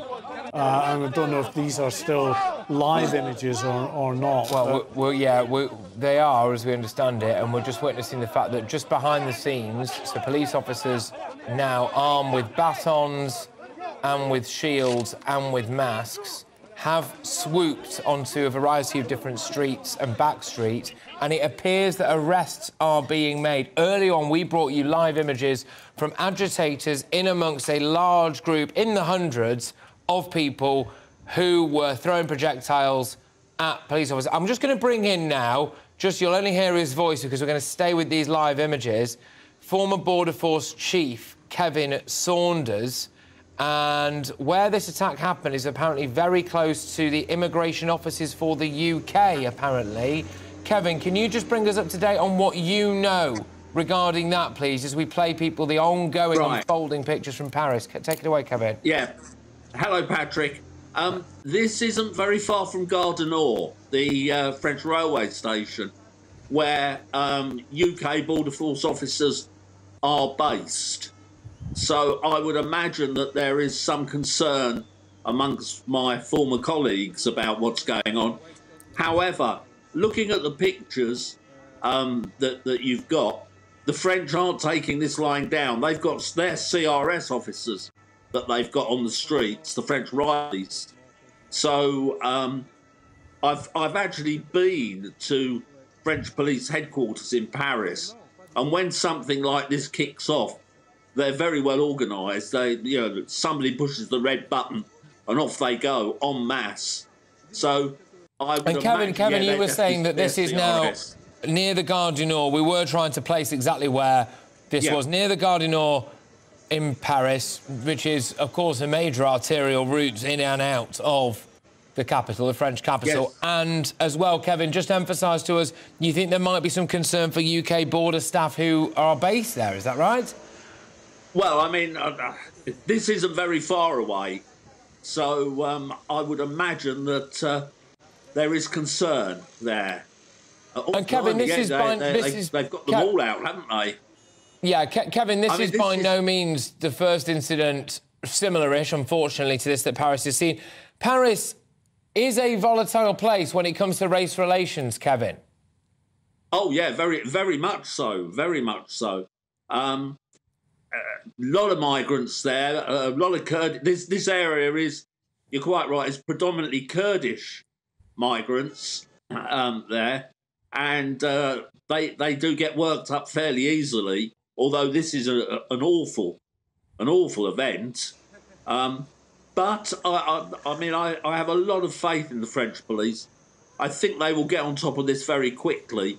Um, your uh, Mark is right. The uh, the Pompiers are there, but also the French medical services, the SAMU, SAMU, are there as well. So there are doctors there on the streets as well. So there must be some uh, some fair old injuries for the, the doctors to be called out as well. Yeah, indeed. And we do have numerous different shots of this. When it first kicked off, we had shots on both sides, actually, from behind the police barricades. And then we had as well from the rioters' side. Currently, the shot that we have right now is. And actually, what we're witnessing at the minute is some of those emergency vehicles on the move. There's a column of emergency vehicles, all with the blue lights on, who had flooded to that scene. It's important now, I think, as well to say that it does appear as though that what was almost one large block of people has dispersed a little bit from what we can see, and not surprising given the sheer volume of French emergency services who have descended there right now. Difficult to tell exactly what they're doing, but clearly, as Kevin was saying, Mark, I'll bring you back in. Mark Whitehouse, and security editor, is with me in the studio right now. The French police uh, have uh, well-trodden protocol when it comes to dealing with situations pretty much just like this, riots, basically. Yeah, the uh, as far as the uh, the police are concerned, you can see their, their positioning and possibly repositioning. So I don't think we can go as far as to say that the hundreds of people have dispersed. It may be that they've just moved on, um, but you know it's possible uh, that they have decided uh, that you know they've made their point and they want to go home. Um, yeah. But uh, it may well be we're, only seeing the one camera angle at the moment, and they're in a fixed position. Wow. They're certainly where all of the the police uh, riot vans, the CRS uh, vehicles are, but uh, they're they're not crucially where any of the officers are in terms of their front line facing or pushing forward. Yeah. So that it's not really giving us an accurate picture of where anybody might still be. Now, I've just had an update. This is from French media, and this is the prosecutor for the Republic of Paris, Laure Beccuau, Laure Beccuau, who has confirmed that three people have died. We knew that already. That was in the initial shooting. What he said is that one person is in a state of, as he said, absolute emergency. I think we can take that to mean a very critical condition. Two in a less critical condition. He said the defendant is injured, so the shooter, alleged shooter, is injured, including an injury to his face. The police have now, and this is according to French media, we'll wait for this to be confirmed. I'm just reading what I've got here on French media, which is that the police are believed to have opened a terrorism case as the investigation into the shooting continues. And as we've already said, the shooter is believed to have been previously arrested more than a year ago for attacking a migrant camp with a sword. And new details here, he's only believed to have been released from prison recently. Um, yes, and the police have confirmed now that several people have been injured in these clashes. But we saw that, Mark, didn't we? We saw that taking place. The suspect was known to police, he was known to the intelligence services. And, Mark, this possibly why the local community is so angry. They will feel like the French police have maybe dropped the ball. Well, I think that from what I was able to glean earlier um, from Paris, there was some real concern about why this individual had been released after seemingly such a short period in prison.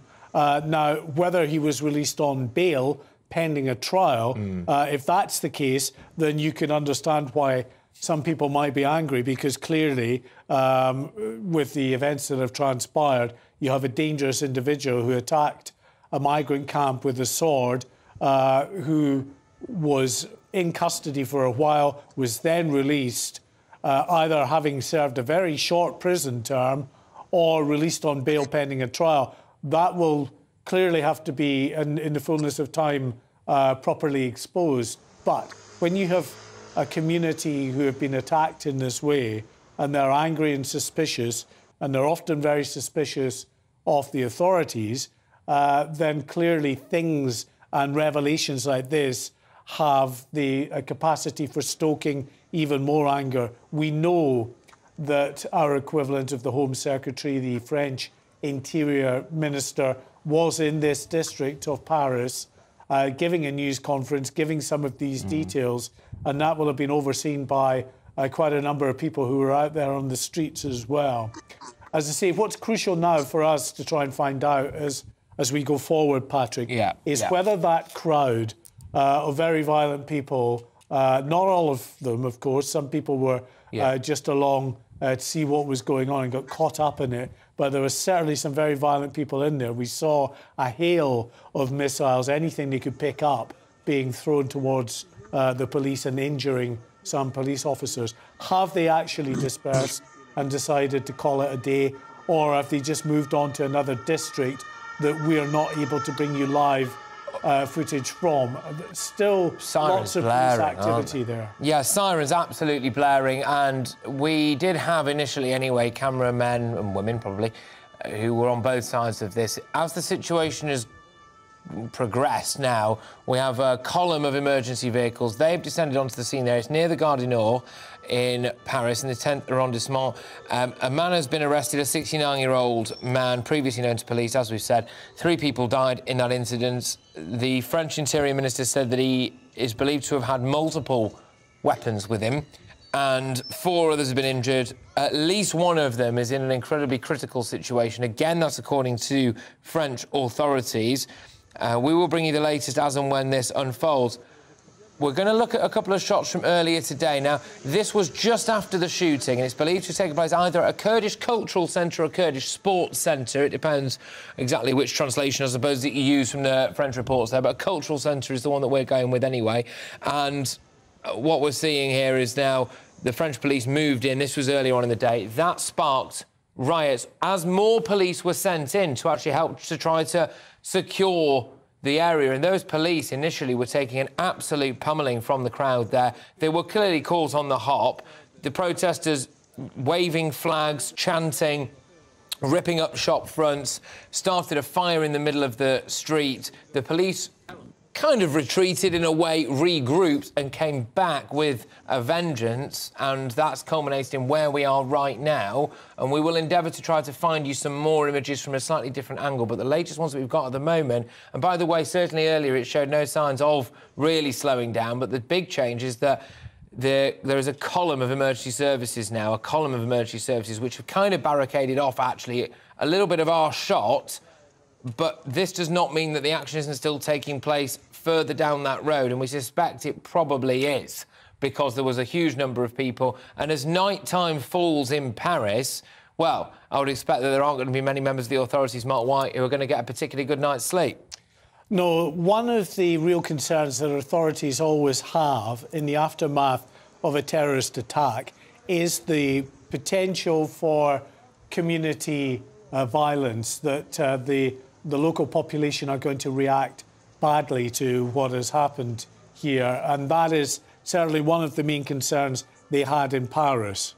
Yeah, absolutely. OK, very shortly, we're going to be speaking to former Metropolitan Police Officer Peter Bleksley. We're just getting him on the line right now just to talk about this riot control and this crowd control. Mark? So, just on this issue about the potential for violence, and what the, the concern you, you have seen, of course, the reaction when you get uh, Islamist terrorist attacks in European cities. Quite often, what will happen is that camera heads are out there and it turns into a vigil and candles are Yes, lit yeah. and people reflect and it doesn't turn tend to be an angry affair. But there is always that potential.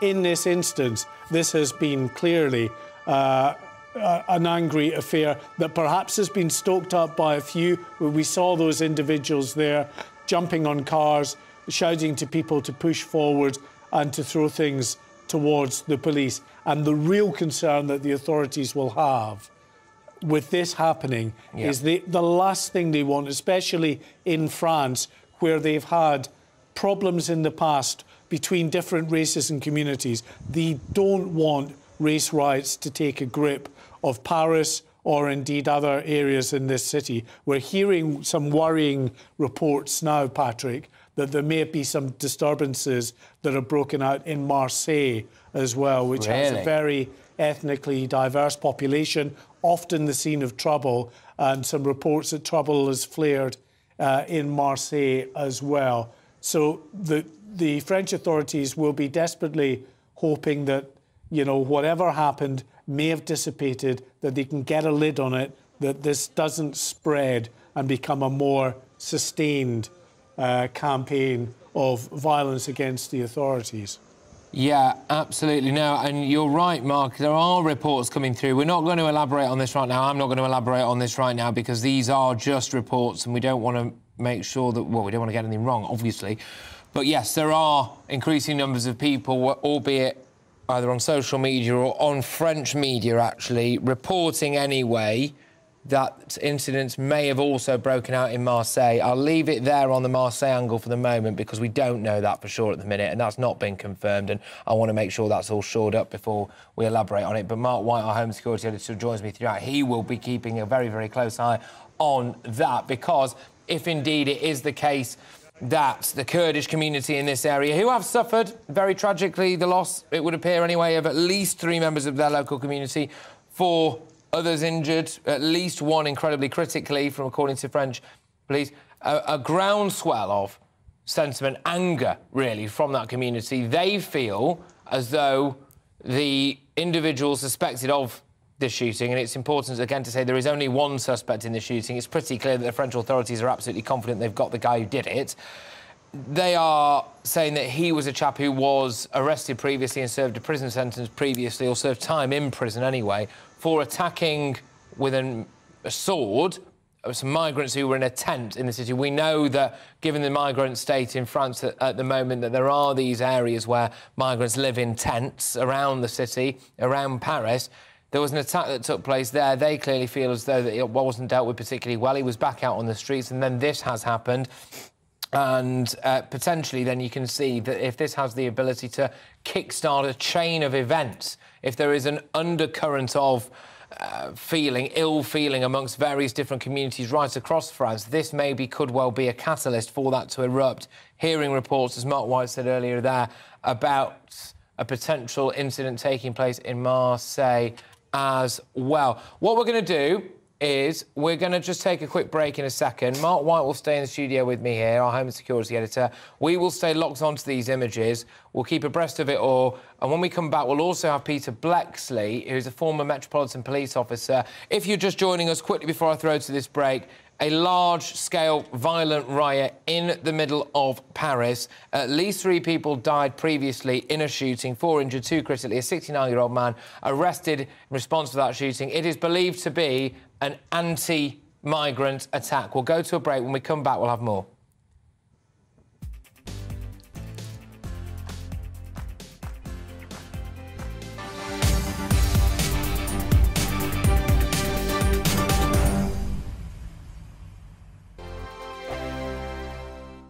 I'm Mark Dolan. Join me at 11 on GB News for Headliners, in which I'll be joined by two of the UK's top comedians discussing tomorrow's papers. If it's an important story, we'll cover it, but we'll have some fun along the way. Headliners, the late night paper review that won't send you to sleep like the others will. Seven nights a week at 11 pm on GB News.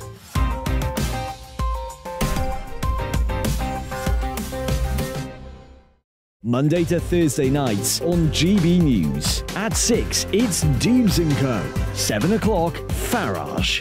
At 8, join Mark Steyn. And at 9, Dan Wootton Tonight, followed by Headliners. On TV, radio and online. This is GB News. Monday to Thursday, 9 pm till 11 pm. Join me, Dan Wootton. I'll bring you the sharpest takes and hottest debates. Do you okay. believe in prison? I, I, don't believe in prison. I'm completely right. stunned. I guarantee you there'll be no spin, no bias, no censorship. I actually was personally quite offended by it. And no reason to go to bed. So I guess they've always been quite woke. That's Dan Wootton tonight on TV, radio, and online. Monday to Thursday from 9 pm till 11 pm on GB News, the People's Channel, Britain's news channel. Join me, Laurence Fox, on GB News. Frank, fun, fearless, and sometimes serious, much as I love a Friday night punch up, what I really want is a battle of ideas. I want to look at things differently. I want to hear different voices and engage with your unique experiences. every Friday at 7 pm on GB News. Hello, I'm Esther McVey. And I'm Philip Davies. Whether you're watching or listening on TV, online, or on radio, we handpick the latest stories, debates, and expert opinions for your weekend. So, whether that's politics, news, or showbiz, we've got it covered. Join us every Saturday morning at 10 o'clock on GB News. Join me every Sunday at 6 pm for Gloria Meets. In exclusive interviews, I'll be finding out who our politicians really are and what they really think. It's something that you would never want anyone to suffer. I didn't know what channels there were. B, I didn't think I'd be believed. I must have weighed about seven stone and I'm five foot eight. My instincts was to sort of cover this up. I mean, clearly that was a mistake. Join me every Sunday at 6 pm on GB News, the People's Channel, Britain's news channel.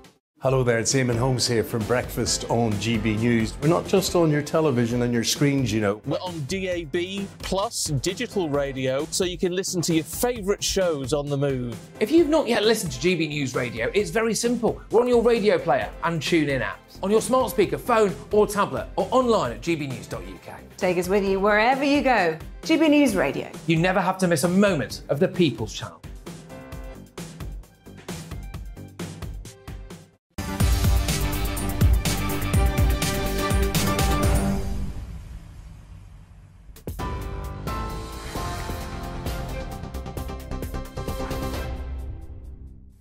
Hello there, welcome back. I'm Bethany Elsey with your top stories from the GB newsroom. Protests have erupted at the scene of a shooting which left three people dead at a Kurdish cultural centre in Paris.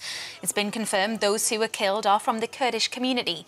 Live pictures show violent demonstrations taking place right now with clashes against police.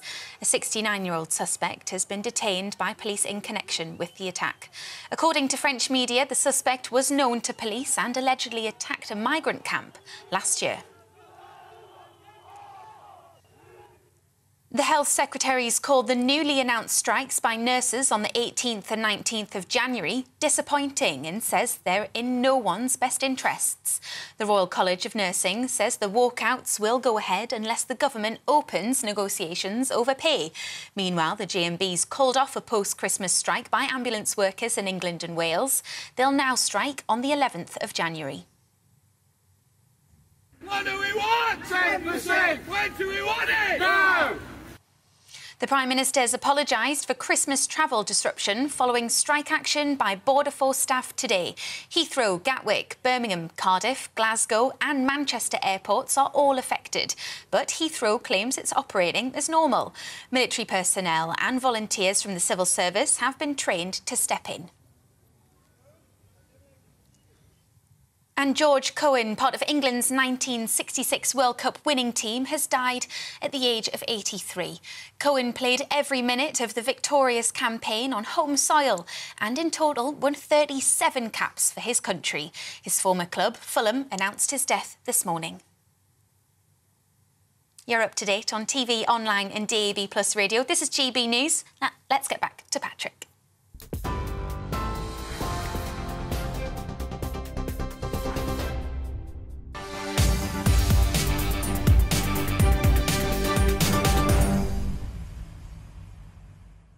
Okay, ladies and gentlemen, you join me in the middle of a very fast-moving breaking situation in Paris. We'll endeavour to give you the latest before anybody else. Throughout the show, we have been following these violent clashes between the police and Kurdish protesters. Frankly, it started after an individual, a 69-year-old man, is believed to have shot and killed three people. Live pictures is what you're seeing now as night descends in Paris. And we witnessed earlier on, anyway, police arresting a 69-year-old man. He's believed to have shot and killed three people. Another person in critical condition. The man himself has received a significant injury to his face, as we understand it. He remains in police cu custody and in hospital. He was only recently released from police custody after an attack using a sword on a migrant tent in Paris as well. And what we are witnessing at the moment, live footage, the police descending on that area. There was full-blown riots taking place, violent riots. Police initially outnumbered. It looked as though it was going to get incredibly nasty indeed. And what is concerning now, ladies and gentlemen, again, is that it appears to me from this footage that we're witnessing right now Yes, there are banks and banks and banks of police, but potentially just down the other end of the street, the crowds gathering again. So we had an initial incident where there was hundreds of Kurdish people, believed to be Kurdish people, at the incident took place in a Kurdish area, uh, Kurdish community centre gathered outnumbering the police. The police then withdrew and regrouped and came back, and the crowd dispersed. It appears to me, anyway, from what I'm seeing and I've just seen when the camera panned round, that now both the crowd and the police are in rather large number. Let's just get an idea of how difficult it is to police a situation a bit like this with ex-Met police officer Steve Roberts. Steve joins me down the line. We're going to stick with these live images, so you'll we'll just be hearing Steve's voice. Uh, but Steve, thank you very much for joining us. We're obviously reacting to this as this news comes in. But how difficult is it to police a situation like this, so fast-moving, so violent, and the potential for it to kick right off? It's very difficult indeed, and it's particularly difficult in these early stages uh, where the, the, police service doesn't quite know what it's dealing with, uh, but needs to muster a large number of officers quickly in order to neutralise any violence that's going on. But at the same time, they've got to be very careful not to provoke even greater violence. But as night falls, they should be able to establish what the position is and hopefully get in touch with some community interveners, people from the Kurdish community who can talk to their own side and try and calm this situation down before it spirals out of control. Yeah, and Steve, I'm witnessing just in front of me here. People won't be seeing this on the screen because this is, like I said, such a fast-moving situation. But it's footage from earlier on, which is actually a lot of people in that crowd of protesters, rioters, who really went at the police and they really charged at them uh, hurling projectiles at them. I can see police officers injured, some quite badly actually injured. And is it important that the police do not let their emotions get to them in these situations? Because presumably, when you see your colleagues lying on the floor in a pool of blood, it's easy for you to lose your cool, and that might escalate the situation even more. Absolutely. It's absolutely vital uh, that the police don't do anything which makes the situation worse, which provokes more violence. Their job there is to keep their heads uh, and to damp down violence, to uh, try and separate those people who are trying to make trouble from the many, many other people who will simply be caught in the same situation and actually want to get away and, and mm. not be a problem. To try and funnel those people away and to try and concentrate the, the police strength that they have got on those few people who are actually making trouble. But yes, of course, it's it's very provoking to have people throwing bricks, petrol bombs, whatever at you, and it, it's it's very worrying when you see your colleagues being injured. But the job of these officers is to try and make sure that people are safe, that property is safe, mm. and that the public are allowed to demonstrate their outrage at this appalling situation, but not allowed to create more violence. And Stephen added layer to this, this isn't, you know, football fans versus police or one of those incidents. There is quite clearly a racial element to this. The attack itself that initially kick-started this is unequivocally, according to French authorities, well, it's a racist attack. It was targeting, they said it wasn't deliberately necessarily targeting the Kurdish community immigrants in general, either way, I think we're splitting hairs there at this point, Steve. It's, there is a racial undertone to this, and does that make it even more difficult to police?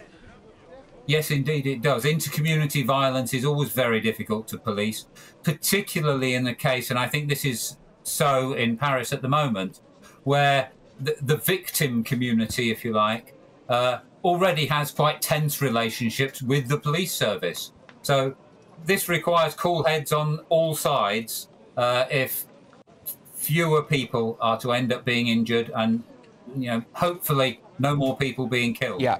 Now, Steve, I'm just going to hand you over. Mark White, our Home and Security Editor, joins me now. Very shortly, ladies and gentlemen, we're going to go to a French journalist who's been in and around this. But, Mark, take it away. Yeah, afternoon, Steve. I, I was just going to ask you about the, the comparison and the way that uh, French public order officers uh, police these types of events, and it wasn't a public order event to begin with, but there was big, large crowds there. We heard, uh, according to local reporters there, uh, about complaints that the police had been a bit heavy-handed. Now we know that the the French police can be a bit robust in comparison to the British uh, police. Does that ring true to you?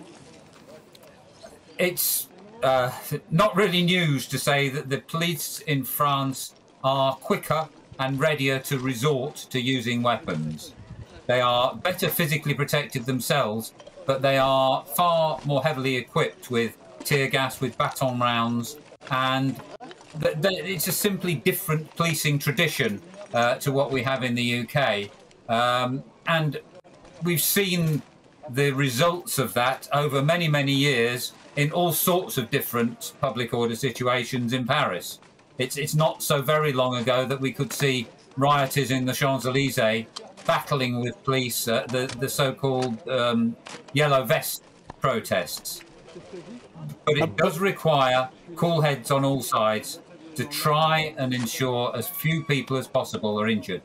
Well, it's a, a very pertinent point on uh, the requirement for cool heads. How concerned are you? And you know, France is no stranger, really, sadly, to race riots. Uh, of the events in the 10th arrondissement in Paris, spreading to other parts of Paris, other towns and cities in France. We've heard about some disturbances, not confirmed as yet, uh, from Marseille in the south. Steve? I think we might have lost Steve, unfortunately. There we go. But that was Steve Roberts. We might be trying to. I'm sure he would have been concerned. I'm sure. I'm sure he would have been concerned. Now, shortly, anyway, we're going to be, hopefully, anyway, bringing you a French journalist who will be able to pick this apart. But I believe we can go back to Steve, actually. Steve Roberts, who is a former Met Police officer, who's filling you in on exactly how police deal with these things. And I, I think Mark was just asking you there, Steve, about the fact that, look, unconfirmed reports at the moment, Steve, unconfirmed reports, want to stress that. But at least some rumblings that there's been an incident in Marseille as well. Steve, what is the potential for this to maybe have a ripple effect across France? Tragically, we've seen this all too often that the, the outer suburbs of Paris can be triggered into violence remarkably easily. It's not just a matter of demonstrations and violence in the centre of Paris. And right across provincial France, there always seems to be a potential uh, for a trigger event to take place and for disenfranchised communities right across the country uh, to spark into violence. And that's something that will be very much in the minds of the French uh, public order and security officials and the politicians who lead them. Look, Steve, thank you very much for that. Steve Roberts there, former Met officer. Now, Mark White was just showing me something that's just dropped, I believe. Yeah, interestingly, this is France 24 uh, saying that members of the Kurdish community in Paris uh, had told reporters that they had recently been warned by police of threats to Kurdish areas that uh, the Kurdish community could be the target for attacks, and some real concern uh, amongst people within the Kurdish community that they were not uh, properly protected. So that may be uh, one of the reasons why you're seeing angry scenes uh, from those gathering in this Kurdish area of central Paris. And the live images that you're seeing now are police officers and other members of other different emergency services trying to put out fires that are taking place there in response to, uh, well, the police and crowds battle pretty much with each other. Let's go now to Paris based journalist David Chazan, who is in Paris for us at the moment. Uh, David, we're going to keep the images on the screen of the events unfolding on the street there. But, David, what's the latest from where you are? Well, the latest, obviously, are these clashes between Kurdish demonstrators and uh, the police. And according to what we've been hearing from witnesses and from the French media, what seems to have triggered the violence was when the French Interior Minister, Gérald Darmanin, arrived at the scene, and then the police threw up a, a cordon to protect him from any uh, possible trouble. And that's when the protesters started throwing bicycle wheels, rocks, pretty much anything they could find at the police. And the police have been firing tear gas to try to disperse the protesters. And I think there are several different elements to this. It looks very much like this was uh, an anti immigrant attack. That is certainly what the French authorities and the Interior Minister are saying. And the suspect who's been arrested is a 69 year old former rail worker who was already facing trial for racist violence and has a previous conviction uh, as well. Um, but nine years ago, three Kurdish activists, three female Kurdish activists, one of whom was closely associated with a banned Turkish militant group called the PKK, uh, which is battling for an independent Kurdish state on what's now uh, Turkish and Iraqi territory. The, those three female activists were killed in Paris, and uh, uh, a man was arrested, a Turkish citizen, but certainly members of the Turkish community here are convinced that the Turkish intelligence services were behind those killings, and they believe that the French authorities don't do enough to protect them. Yeah, well, so clearly there's been a hotbed there for a while. Now, just in terms of this area, OK, because bear in mind, David, Mark White, our Home Security Editor, and myself, we're sat here, we're in London, we were getting this dropping through us, the live images brought to us just as this really kicked off, and it was a very chaotic situation. So, what do you know about this specific area where this is currently taking place? What we have here is it's the 10th arrondissement. Um, I've never been there myself. Just talk me through what, what this area is like here right now. Yeah, I mean, it is an ethnically mixed area. It's about 20 minutes walk from where I live, so I know it well. Um, a formerly working class area that's now got a lot of hipster style restaurants and so on. So it's very much a neighborhood in transition, uh, quite volatile sometimes, I suppose you could say.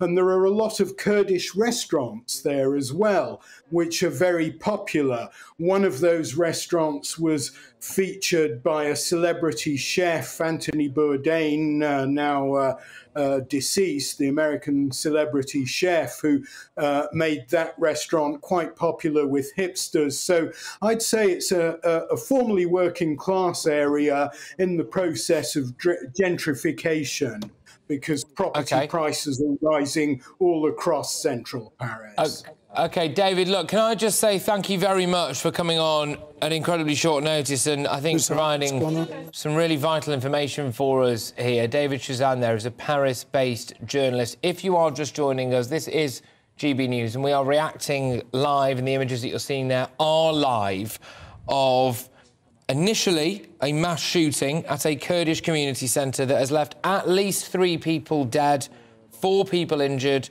two of them critically. The perpetrator of that attack is believed to be a 69 year old former rail worker who, it is understood, was facing trial for a race related incident and has a previous conviction for a race related incident.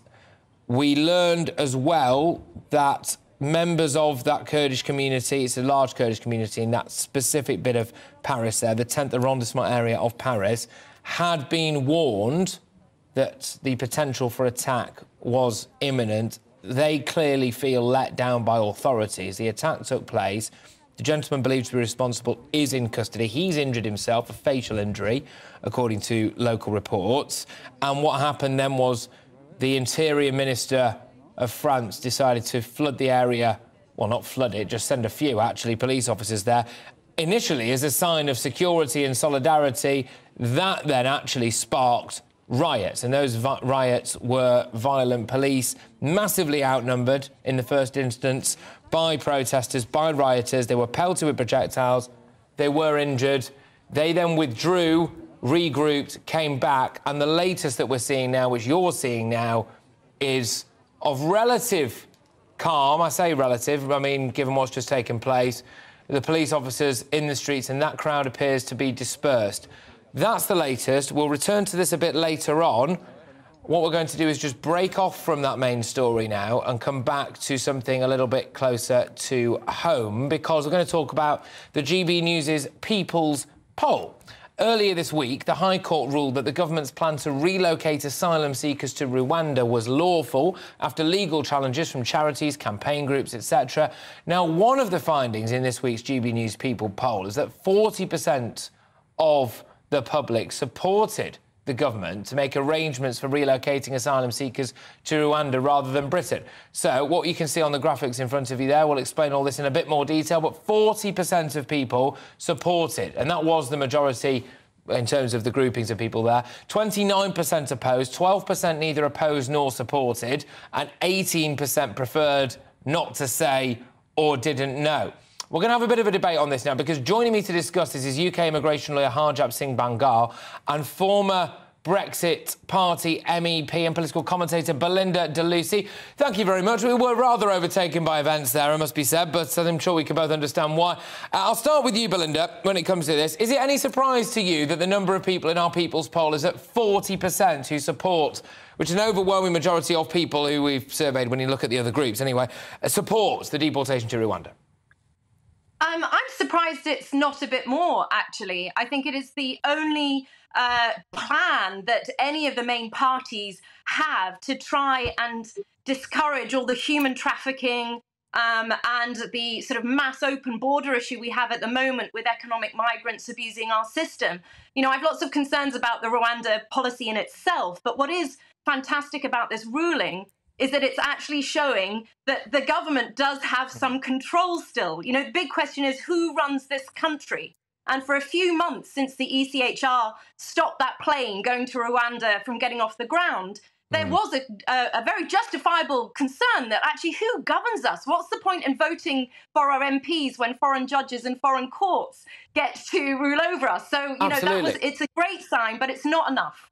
Well, Belinda, this has been an age-old debate, and I'll throw it over to Harjap, because Harjap, when people look at the situation now, which I think more and more people are increasingly becoming uh, aligned to the idea that maybe we should be doing something with Rwanda and getting some of those flights taken off, do you think that will make the government more inclined to ignore foreign judges? No, I, I, what's going to happen is it all depends whether this scheme's going to be successful or not. There's only 200 spaces in Rwanda and it's going to cost us millions, if not billions. I don't think that's going to deter. That won't even deter a day's crossing. What's more of a deterrent is what Rishi Sunak announced, and we do have an alternative that we're going to fast track asylum claims and deal with them in 10 days. And we used to have this before 2012.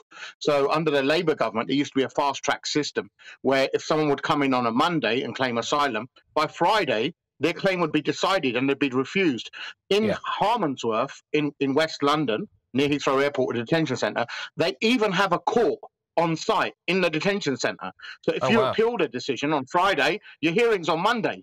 And if that gets refused, you could be on a plane by Wednesday. Well, so I, have I've seen people sent back in 20 days, but under the, the for the last say 12 odd years under the Conservative yeah. government, the safe list has gone, the fast track system has gone, and oddly replaced. Well, Harjap, I'll, I'll, I'll stop you there.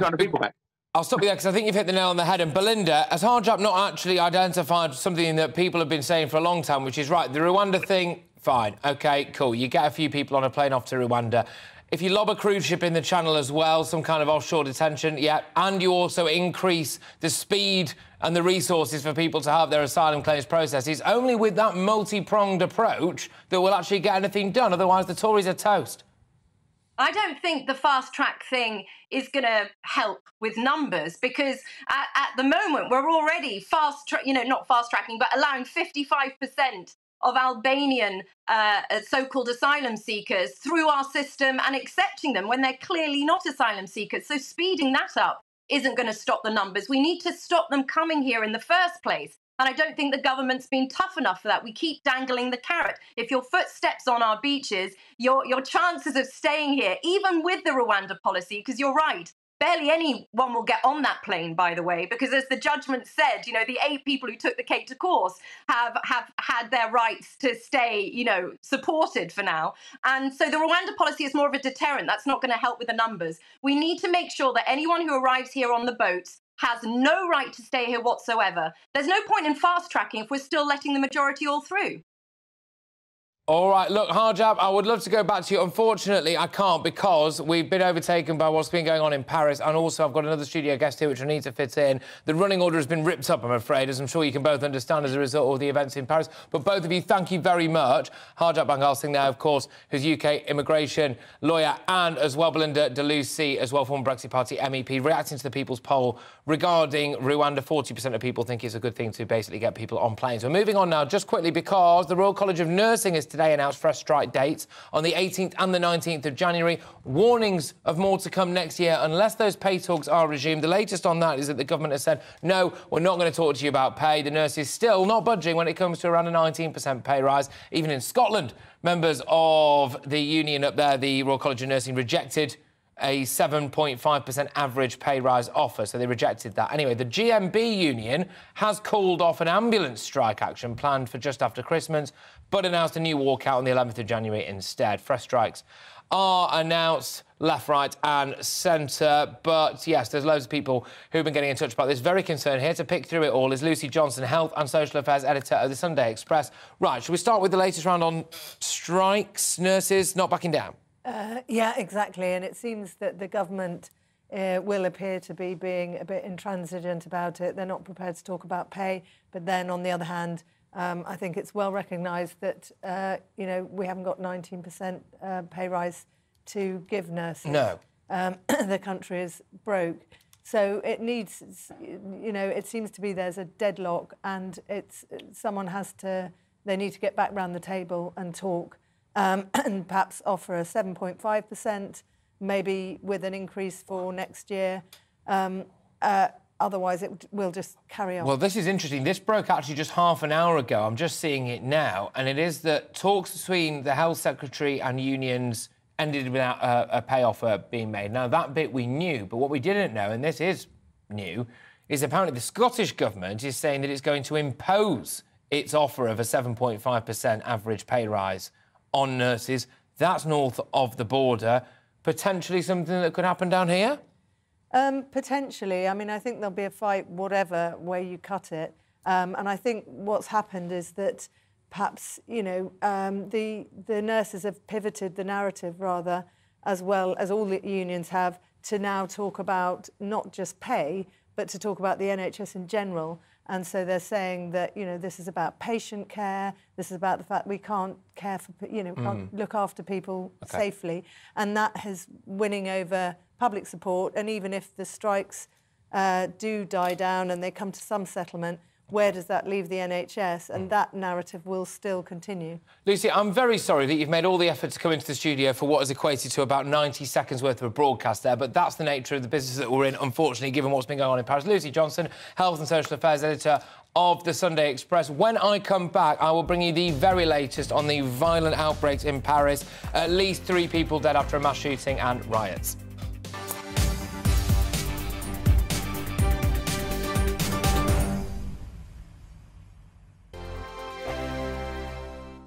We are GB News, and we'd like to say thank you to each and every one of you for bringing us your conversations, for helping our great nation find its voice. We are here for you on radio, television, and online across England, Scotland, Wales, and Northern Ireland. It's not the BBC, you know, you actually get your facts right. We are proud to be GB News, the People's Channel, Britain's news channel. Hi there, it's Stephen and Anne. At breakfast from 6am, you'll always be caught up with everything you need to know the latest headlines, opinions, and debates. We'll bring you the good news and the bad, but most of all, we're here for you. Remember, send in your views and let us know what you would like us to talk about. That's because we're your news channel. And every morning at 6am, it's breakfast on GB News. Monday to Thursday on GB News, it's Bev Turner today from 10am. We're going to be here for you, our GB News family, to keep you up to date, but also make you smile. The guy went from puberty to adultery. and I can't wait to bring a few of my own opinions. I have no time for cultural totalitarianism. we'll engage in passionate, but always polite debate. With your thoughts and opinions at the centre of it all, only on GB News, the People's Channel, Britain's news channel.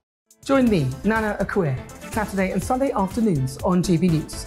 Expect fiery debate and passionate discussion as me and my panel tackle some of the biggest topics hitting the headlines. It's a place for everyone's opinion. No one gets cancelled, but no one gets an easy ride. Oh, she's on it today. Be ready for conversations that are fierce, frank, and of course, fun every Saturday and Sunday afternoon from 4 pm on GB News, the People's Channel. Join my show Farage, 7 pm till 8 pm, Monday through Thursday. And there you will get opinion, analysis, debate, and I'll cover stories that nobody else dares to touch. You've been cancelled. Join the club. Oh my goodness me. And then for the last 15 minutes, talking pints. We're Over a drink, we have a civilized conversation with someone. We very often disagree, but we do it in a grown up way. Come and join me on Farage. We are GB News, the People's Channel. And right across the United Kingdom. You can find us on Sky Channel 512, Virgin Media Channel 604, Freesat Channel 216. Freeview Channel 236. And YouView Channel 236. You can also take us with you on DAB Plus Radio. With the GB News app and at the website gbnews.uk. We're absolutely everywhere. Come join us on GB News, the People's Channel, Britain's news channel.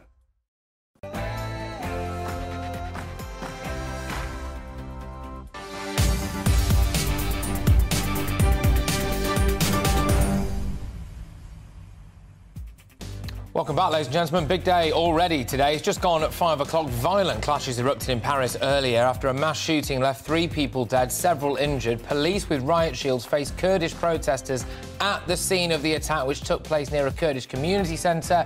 It kicked right off. We had live images of that. We'll go back to those very, very shortly. Get emails coming in as well on a whole range of topics that we're going to be talking about today. We were doing the gender recognition madness that's taking place up in Scotland. Got the latest round of strikes. Border Force are on strike and the People's Poll as well, which turns out that 40% of you, 40%, think those flights to Rwanda should take off ASAP. GB Views at gbnews.uk. We're going to give you your headlines now, but yes, like I said, when I come back, we will have the very, very latest from ongoing violent clashes in Paris. Stay tuned.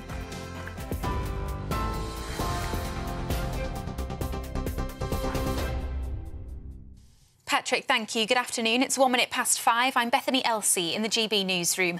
Violent clashes have broken out in central Paris near to where a gunman opened fire, killing three people from the Kurdish community and injuring several others.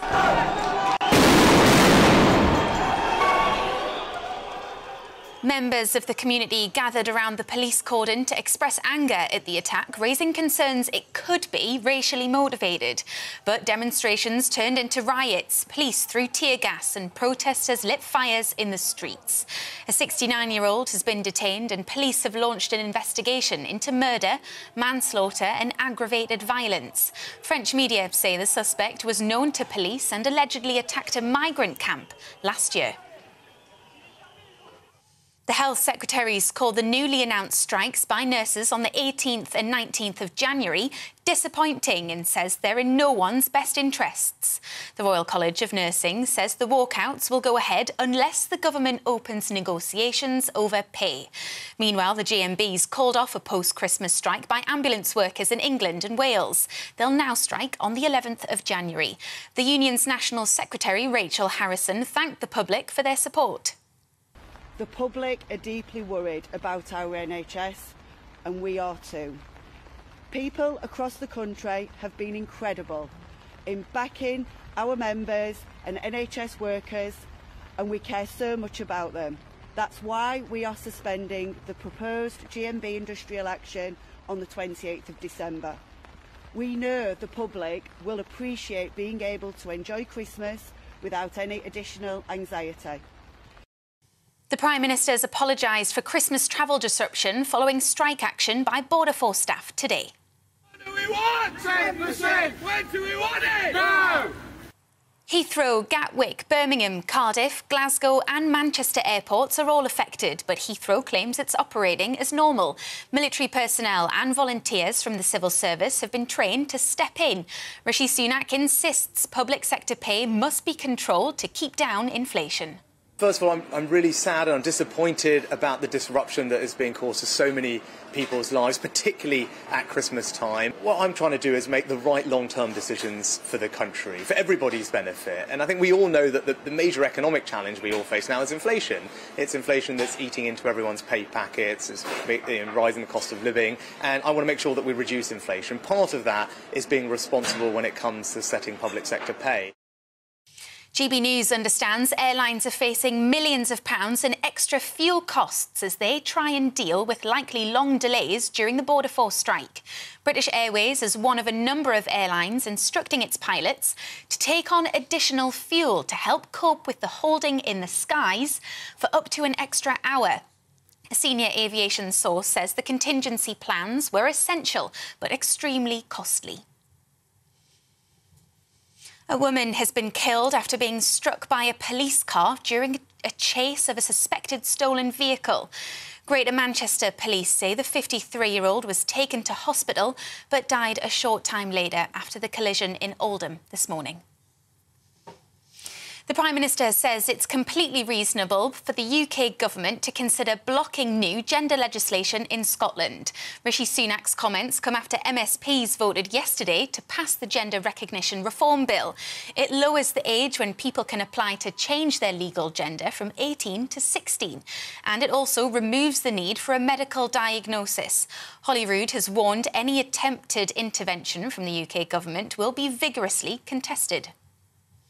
A powerful Arctic storm is sweeping across large parts of the US and Canada, with temperatures plunging as low as minus 45 degrees.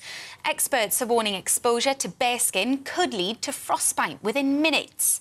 More than 100 million people are under weather alerts during the busiest travel days of the year. The storm is forecast to develop into what's being described as a bomb cyclone, bringing with it heavy, blinding snow. Motorists are being warned to expect long delays as millions hit the road to spend Christmas with friends and family.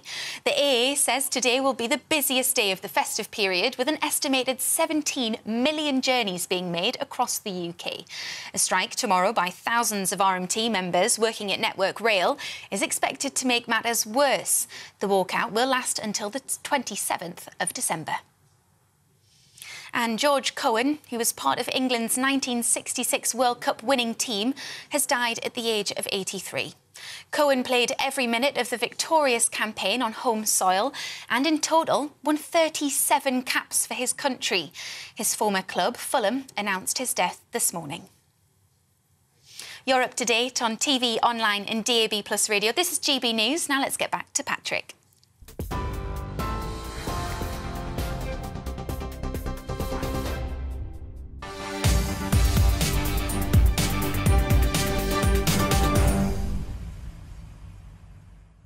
Okay, welcome back, people. We're going to go straight in with our top story today, which is there's been violent clashes between protesters and police in Paris. This follows a shooting at a Kurdish community centre which left three people dead, several critically injured. Members of the Kurdish community then protested near the scene following an address by the French Interior Minister in which he said he wasn't sure if the attacker was specifically targeting Kurdish people. He did, however, say that it was clear that the attacker was specifically targeting immigrants. It's also important to note that the individual believed to be the suspect, well, who is the suspect, 69-year-old former rail worker who had been facing trial for a racially aggravated offence and has a previous conviction for a racially aggravated offence. Mark White joins me right now. I believe we've got live pictures as well of what's been going on over there. Mark White, our Home and Security Editor. What's going on? Uh, well, we are looking at a situation now where uh, there are still significant crowds, it seems. Uh, the police are there. They've been able, there's a chap there on a, a, a loudspeaker, I'm sure a community leader calling for calm mm. in that area because they're very angry and lots of uh, accusations and recriminations, uh, uh, claims that actually it was Turkey that was behind this. Well, just talk me through that a little bit, Mark, because we did have a, uh, an individual on earlier on who was a Paris-based but British journalist who said that there had been anger stoked in that Kurdish community from a previous attack years ago that was believed to have been Turkish versus Kurdish.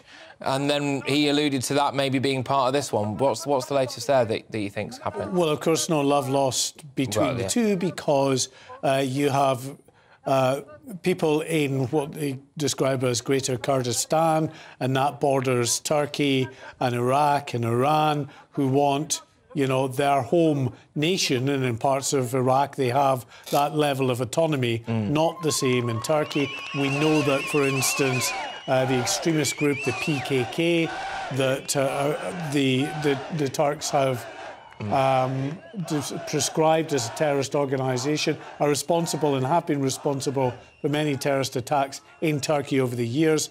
And of course, on the other side, the Turkish accused of uh, many atrocities towards Kurdish people. So that gives you some of the background as to why the Kurdish people uh, are claiming, or some of them at least, that this shooting has come at yeah. the behest of uh, President Erdogan, the Turkish leader. Absolutely. Well, what we're looking at right now is a bank, a relatively small initial bank, followed by several different other rows of French police and emergency services. And then as the camera pans round there, which is what we're looking at right now, is a large crowd of well, one would imagine anyway, Kurds who are in that area. It's a Kurdish area. Now, it's important to say, as we take these images live, that it was just on this street and on the streets around it where not so long ago, about half an hour ago, there were incredibly violent clashes between police and the protesters. It must be said that most of the violence was coming from the protesters, projectiles, etc., being thrown at police. The police force were not wearing a lot of protective gear at the time. That has changed. We saw police officers getting injured. We saw tear gas then deployed. Now, this appears to be somewhat of a standoff. At the moment, Mark White, there's nothing particularly violent taking place, but those crowds dispersed for a while. They are back again, and the chanting has just started again. This does have the potential for more violence to erupt, one would have thought. Yeah, I mean, the concerning thing about this site is that we're back to uh, this street and this district Same now street. Very significantly crowded uh, with individuals who are clearly uh, impassioned and emotional there to give you an indication of some of the things that they're saying. Um, but journalists have been hearing from Murat Roni, uh, who is uh, a Kurdish uh, gentleman who visits that cultural centre that was the subject of the attack. He says he comes regularly to the cultural centre. He described it like the embassy for Kurds in Paris, uh, a gathering place for cultural events, political discussion, assistance with immigration procedures and alike. A house, he says, where all Kurds get together. Now, this I think goes to the crux of why there's so much anger here. Absolutely. He says we do not feel protected in Paris. After Friday's shooting, he said uh, we do not at all feel protected in Paris by the authorities, by the police, and that's why we've got the recriminations now and the accusations towards the police. The police are a symbol of authority, uh, and you will often see with an angry crowd that symbol of authority will find themselves being targeted. And clearly that happened before. It has to be hoped that calmer heads prevail now. Well, what we are witnessing now can only be described as a standoff between Kurdish protesters. The chanting you will be able to hear in the background now. Now, it is this exact same street where we brought you live images roughly around half an hour, 45 minutes ago of out and out violence. Projectiles being thrown, fires in the street, French police officers charging, tear gas, batons wielded, then retreating and regrouping. And this is the culmination of that situation now. Hundreds and hundreds of, one would imagine, mostly Kurdish men, as we can see there, face to face, nose to nose with the French police officers. And the camera will pan round again shortly, one would imagine, there is a huge row of French police officers. It's an incredibly narrow street. I'm just going to read you a couple of things from French media who are on the scene. Emmanuel Macron, French president, has now spoken about this. It's a brief statement. He said it's an odious attack. This attack left three people dead, four people injured. It's believed to be a far-right anti-immigrant attack. Anyway, he said it's an odious attack. He said his thoughts are with the victims. And I'm sticking with French media, who are claiming, we are waiting for confirmation on this, and I want to make that very clear, but French media are claiming now that of the three victims, one was a woman and two men have died. OK, that starts off the people who have died. French media, unconfirmed French media reporting, one was a lady and there were two men involved as well and a witness, or a lady at least claiming to be a witness, is reporting and telling French media that the gunman targeted a Kurdish cultural centre, but also a nearby shop and a hairdresser's as well. One would imagine there a row of a row of shops in this particular area. Just to fill you in again, what you are seeing now, and I think this is a real concern for people, is these crowds of people had dispersed. The French police had come in, they'd scattered. They are now back and they are regrouped. The French police, they dispersed because they were all over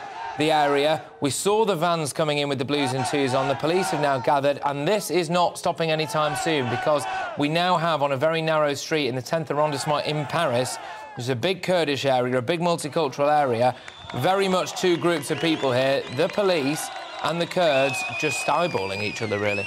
Yeah, I mean, they've, you know, a right to be there, to protest, to make their voices heard about a terrible attack that took place today and to voice their very real concern that they say they're not being properly protected by authorities in Paris. The real concern, though, Patrick, will be what happens next because it doesn't take much. Yeah. You can hear from the crowd that, you know, they are pretty volatile, that they're uh, quite angry uh, with what has happened.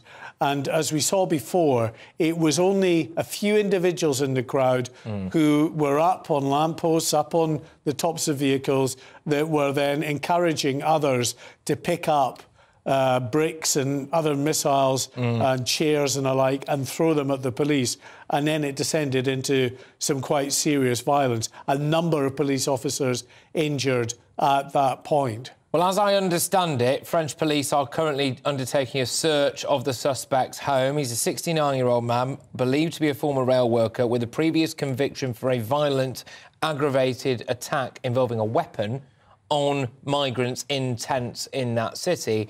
And that is incredibly relevant, not least because of the nature of this current shooting right now, believed to be deliberately targeting, as he would say, migrants, Kurds, and the feeling in that community, as we see now earlier images taking place of that riot, the feeling in the community of being let down by the police officers, of being let down by French security forces, of probably being let down possibly anyway, you could say, by the French government as well, because they feel as though they were not protected enough. And as Mark White revealed live on GB News earlier on, there had been reports from amongst that Kurdish community that they had been made aware of the risk or the potential of an attack and they do not feel protected. And that goes a long way to explaining why we're seeing such vitriol now between the local Kurdish community and the police if a standoff continues to take place in Paris, neither side going anywhere. And Mark, as you've said, there is the potential for this to go incredibly volatile, incredibly quickly. We already saw that happen earlier on.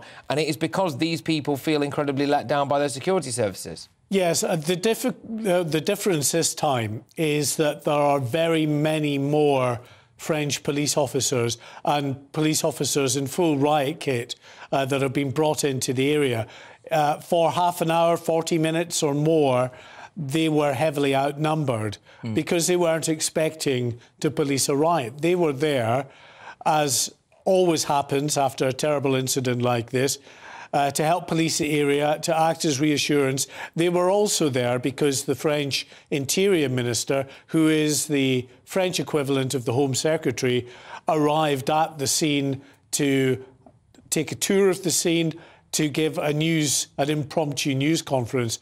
Now, what I'm told by some local journalists there as well, have been speaking uh, to some of the people that were there, is that they claim that the French threw a ring around the Interior Minister, as you would expect. He's a high profile politician, but they claim that the French police were a bit heavy handed in doing that. They may have been, um, but this is what they have said anyway to local journalists, and that was the spark for the anger then pointed towards the police. That and the fact they claim not to have been fully protected, despite being warned some time ago by the police about the potential for members of the Kurdish community to come under attack. Yeah, absolutely. Look, we're going to stick with this throughout the course of the show, OK? We're going to keep coming back and forward to it. We've got images of the situation unfolding in Paris at the moment. We're going to move away from it for now and we'll dip back in and out of it because, like I've said, at the moment anyway, it is very much a standoff between hundreds of Kurdish men and French riot police, OK? And that situation does not appear to be moving very quickly anytime soon. So we'll go back to that. Let's return to something more domestic. Let's return to something a bit closer to home. And British Border Force staff have walked out today, causing disruption at airports across the UK. Members of the PCS union including staff at Passport Control, have begun eight days of industrial action. It's part of a dispute over pay, pensions and job security. Employees have walked out at Get a load of this. Heathrow, Gatwick, Manchester, Birmingham, Cardiff and Glasgow airports. They're also striking at the port of Newhaven. Joining me to discuss this is travel editor of the i newspaper, It's Sophie Lam. Goodness me, Sophie, well, we've got chaos in Paris, a different kind of chaos here, but chaos nonetheless. What's the latest with our border force going on strike? Um, so you know, actually, it, it's quite a lot calmer than we'd been expecting. Um, I think with with with flight levels uh, now at eighty six percent of um, pre COVID levels over this Christmas, I think everyone was braced for some pretty chaotic scenes at the airports. But actually, things got off to a fairly smooth start. Um, we've seen the military and volunteers drafted in to help out to cover those roles of striking staff. I think there are about a thousand staff that are striking over the next eight days.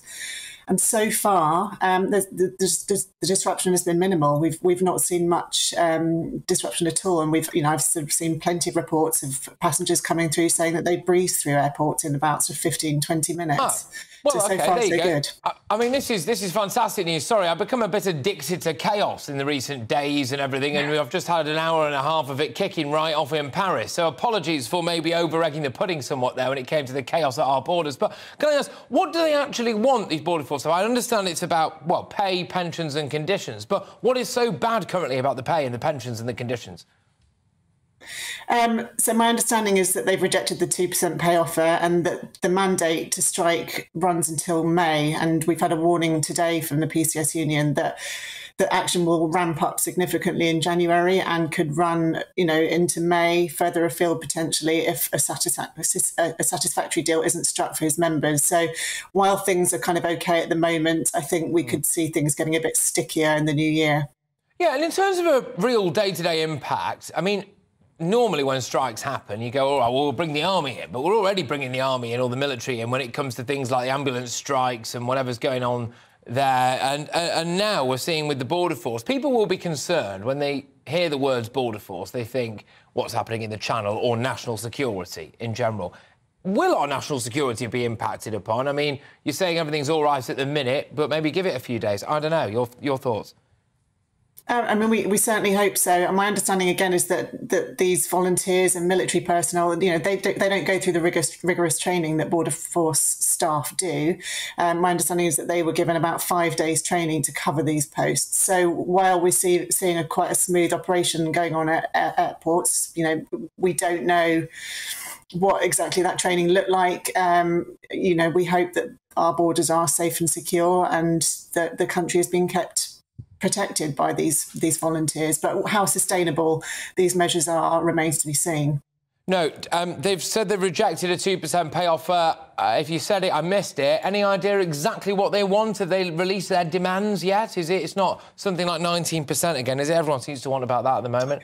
Um, I've, I've lost track. I'm really sorry. I, am no, not don't, honestly, no. to speed Seriously, don't don't worry about it at all because I haven't seen it and I've been reporting on this all day. I just wondered if you knew. It's all right. Don't worry about it. And uh, it is so much chaos going on with the strikes at the moment. It's difficult to know exactly where everybody stands on it. But look, Sophie, thank you very much for stepping in for us on this issue. Sophie Lam there is travel editor of the i newspaper, just filling everybody in on the latest when it comes to the border force strikes. No sign of them stopping anytime soon. They have rejected the latest offer of around 2%. Right, I've got loads coming your way. We've got the results of the GB News' People's Poll, and it finds that more people support the government's Rwanda migrant plan than oppose it. So, shock horror there, really. I'm also going to be getting some reaction to what's taking place north of the border up in Scotland because we had a situation, a ridiculous situation yesterday, where a bunch of elected officials decided to stand up and applaud a group of men sat in a gallery who really pushed for a bill that eroded women's rights. I mean, for example, rapists now would potentially be able to change their gender and enter women's spaces. And that, ladies and gentlemen, that is deemed to be progress. Who'd have thunk it? We'll also have the latest from Paris, where protesters have clashed with armed police. It's after a gunman shot dead three people, injured several others. We thought it was going to be a quiet day today. We were wrong about that. I'll see you in two.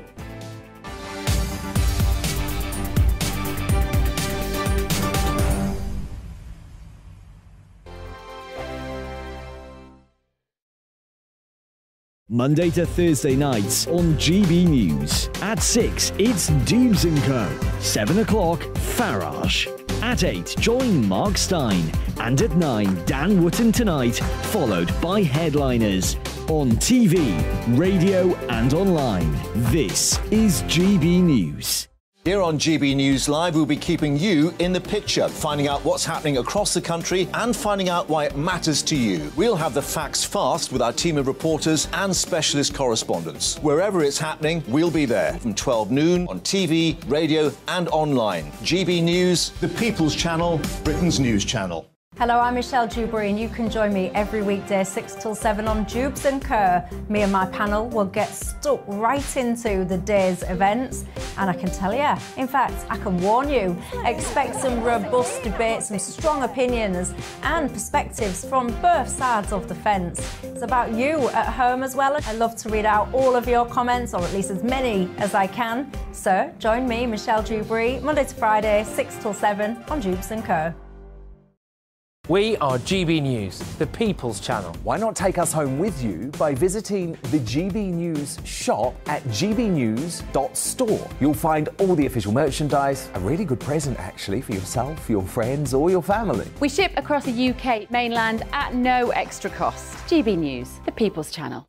I'm Mark White. As GB News Home and Security Editor, I cover those key issues that are so important to you. Our authorities, our communities doing all they can to combat violent crime. With the public services under unbearable strain, why are we still failing to control our borders? Defence, the first priority of any government, has been continually hollowed out. Can we trust our politicians to protect the armed forces? Join me, Mark White, on GB News.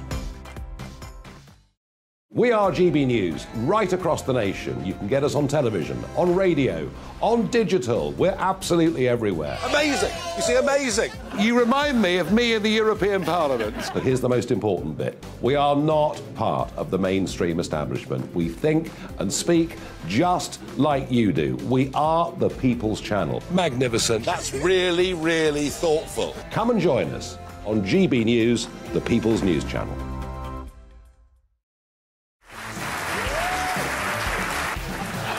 My name is Andrew Doyle. Join me every Sunday evening at 7 pm for Free Speech Nation.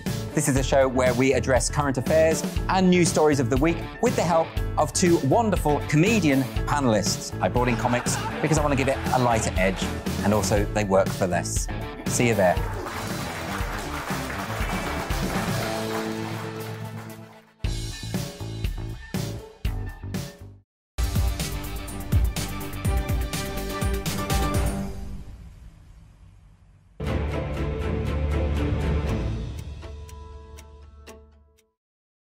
That People's Poll sting is moody, isn't it? Right, OK, earlier this week, the High Court ruled that the government's plan to relocate asylum seekers to Rwanda is lawful after legal challenges from charities and campaign groups. It was never ending. In fact, it didn't just rule that it was lawful, it rather hilariously, ruled that some of those charities don't have legal standing, which is fascinating. And this week, we decided to go and poll you, the nation, GB News' people, in our People's Poll. And it revealed that 40%, 40, of the public support the government to make arrangements for relocating asylum seekers to Rwanda rather than Britain.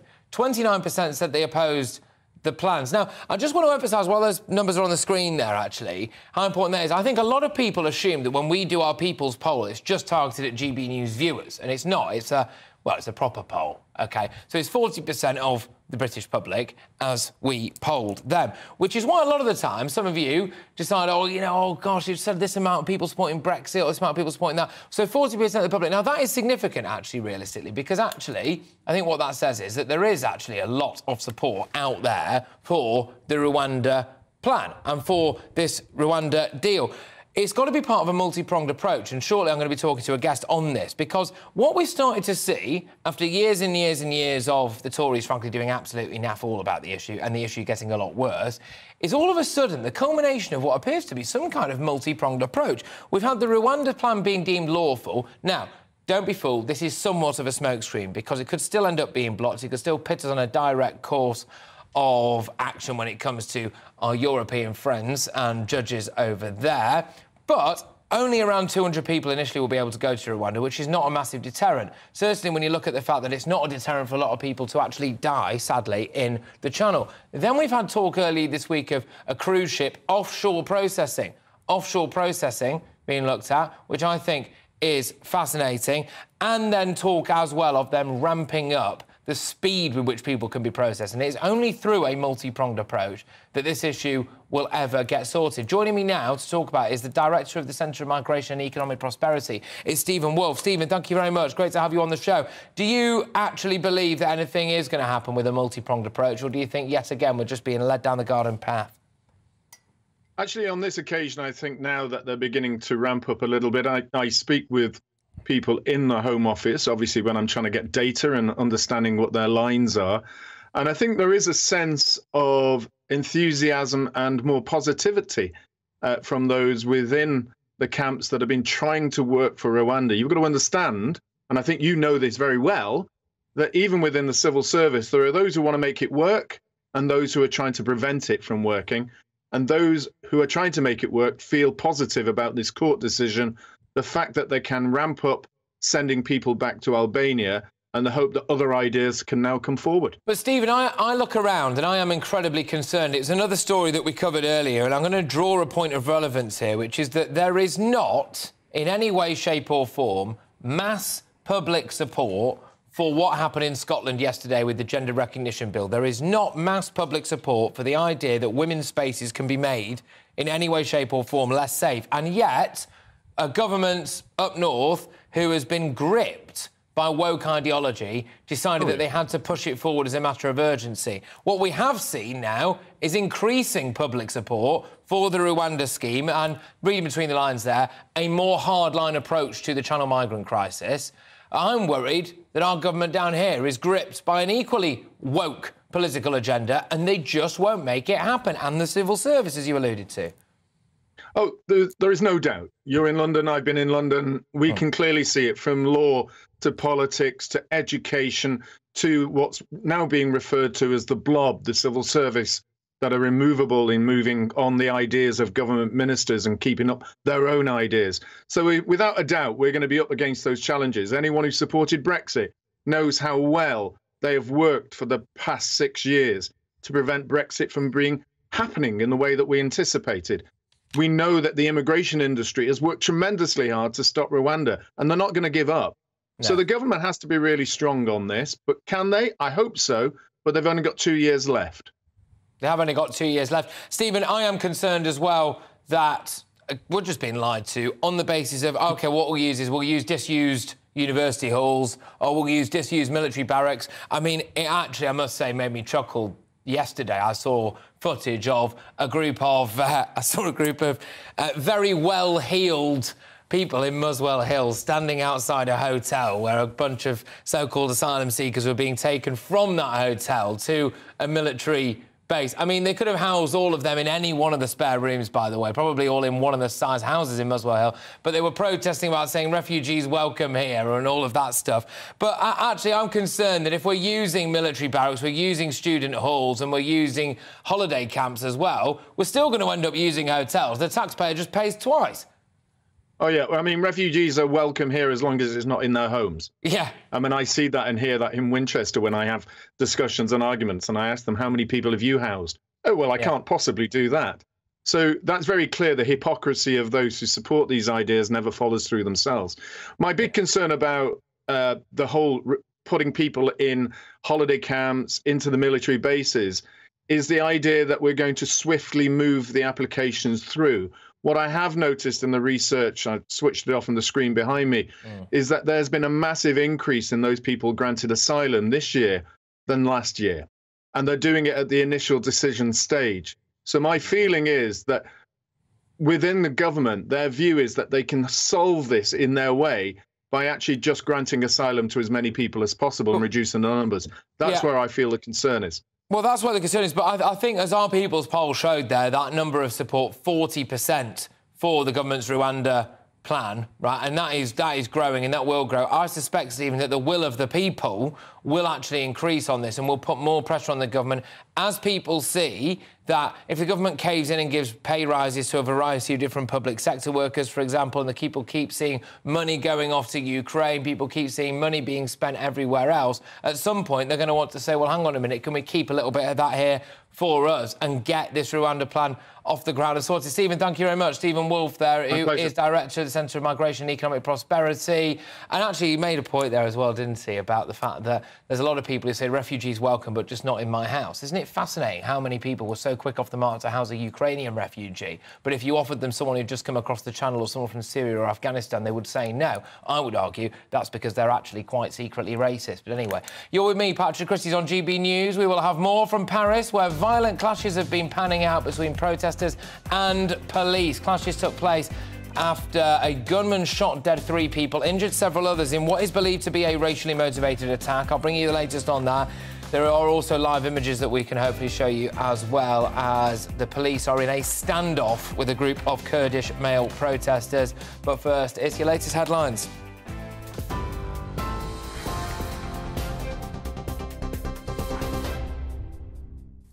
Patrick, thank you. I'm Bethany Elsey with your top stories from the GB newsroom. French President Emmanuel Macron has condemned what he calls a heinous attack on the Kurdish community in Paris after two men and a woman were killed in a shooting this afternoon.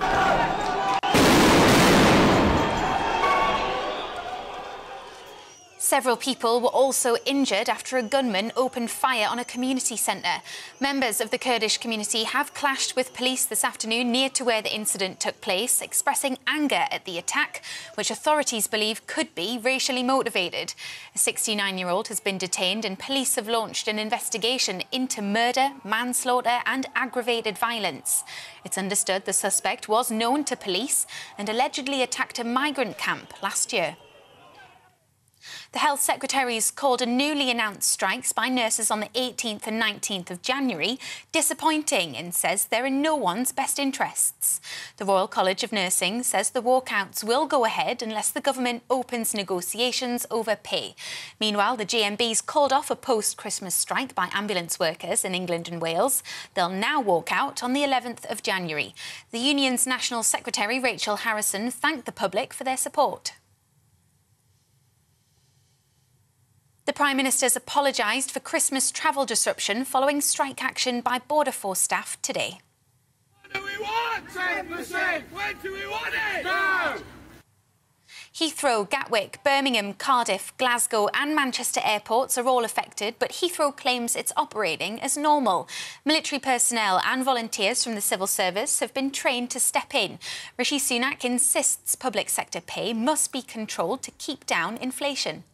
First of all, I'm, I'm, really sad and I'm disappointed about the disruption that is being caused to so many people's lives, particularly at Christmas time. What I'm trying to do is make the right long term decisions for the country, for everybody's benefit. And I think we all know that the, the, major economic challenge we all face now is inflation.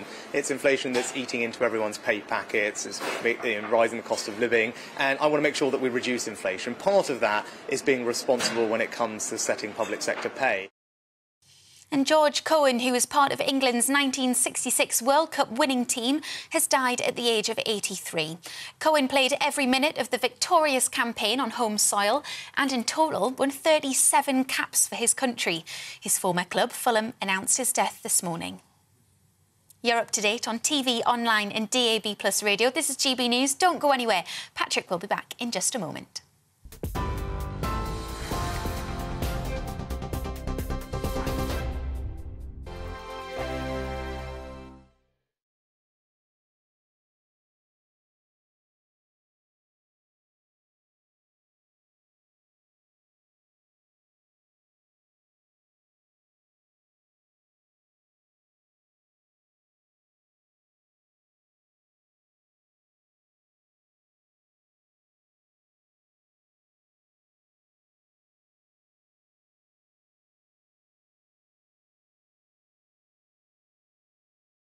I'm Mark Dolan. Join me at 11 on GB News for Headliners, in which I'll be joined by two of the UK's top comedians discussing tomorrow's papers. If it's an important story, we'll cover it, but we'll have some fun along the way.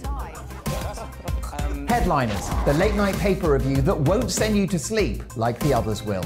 seven nights a week at 11 pm on GB News.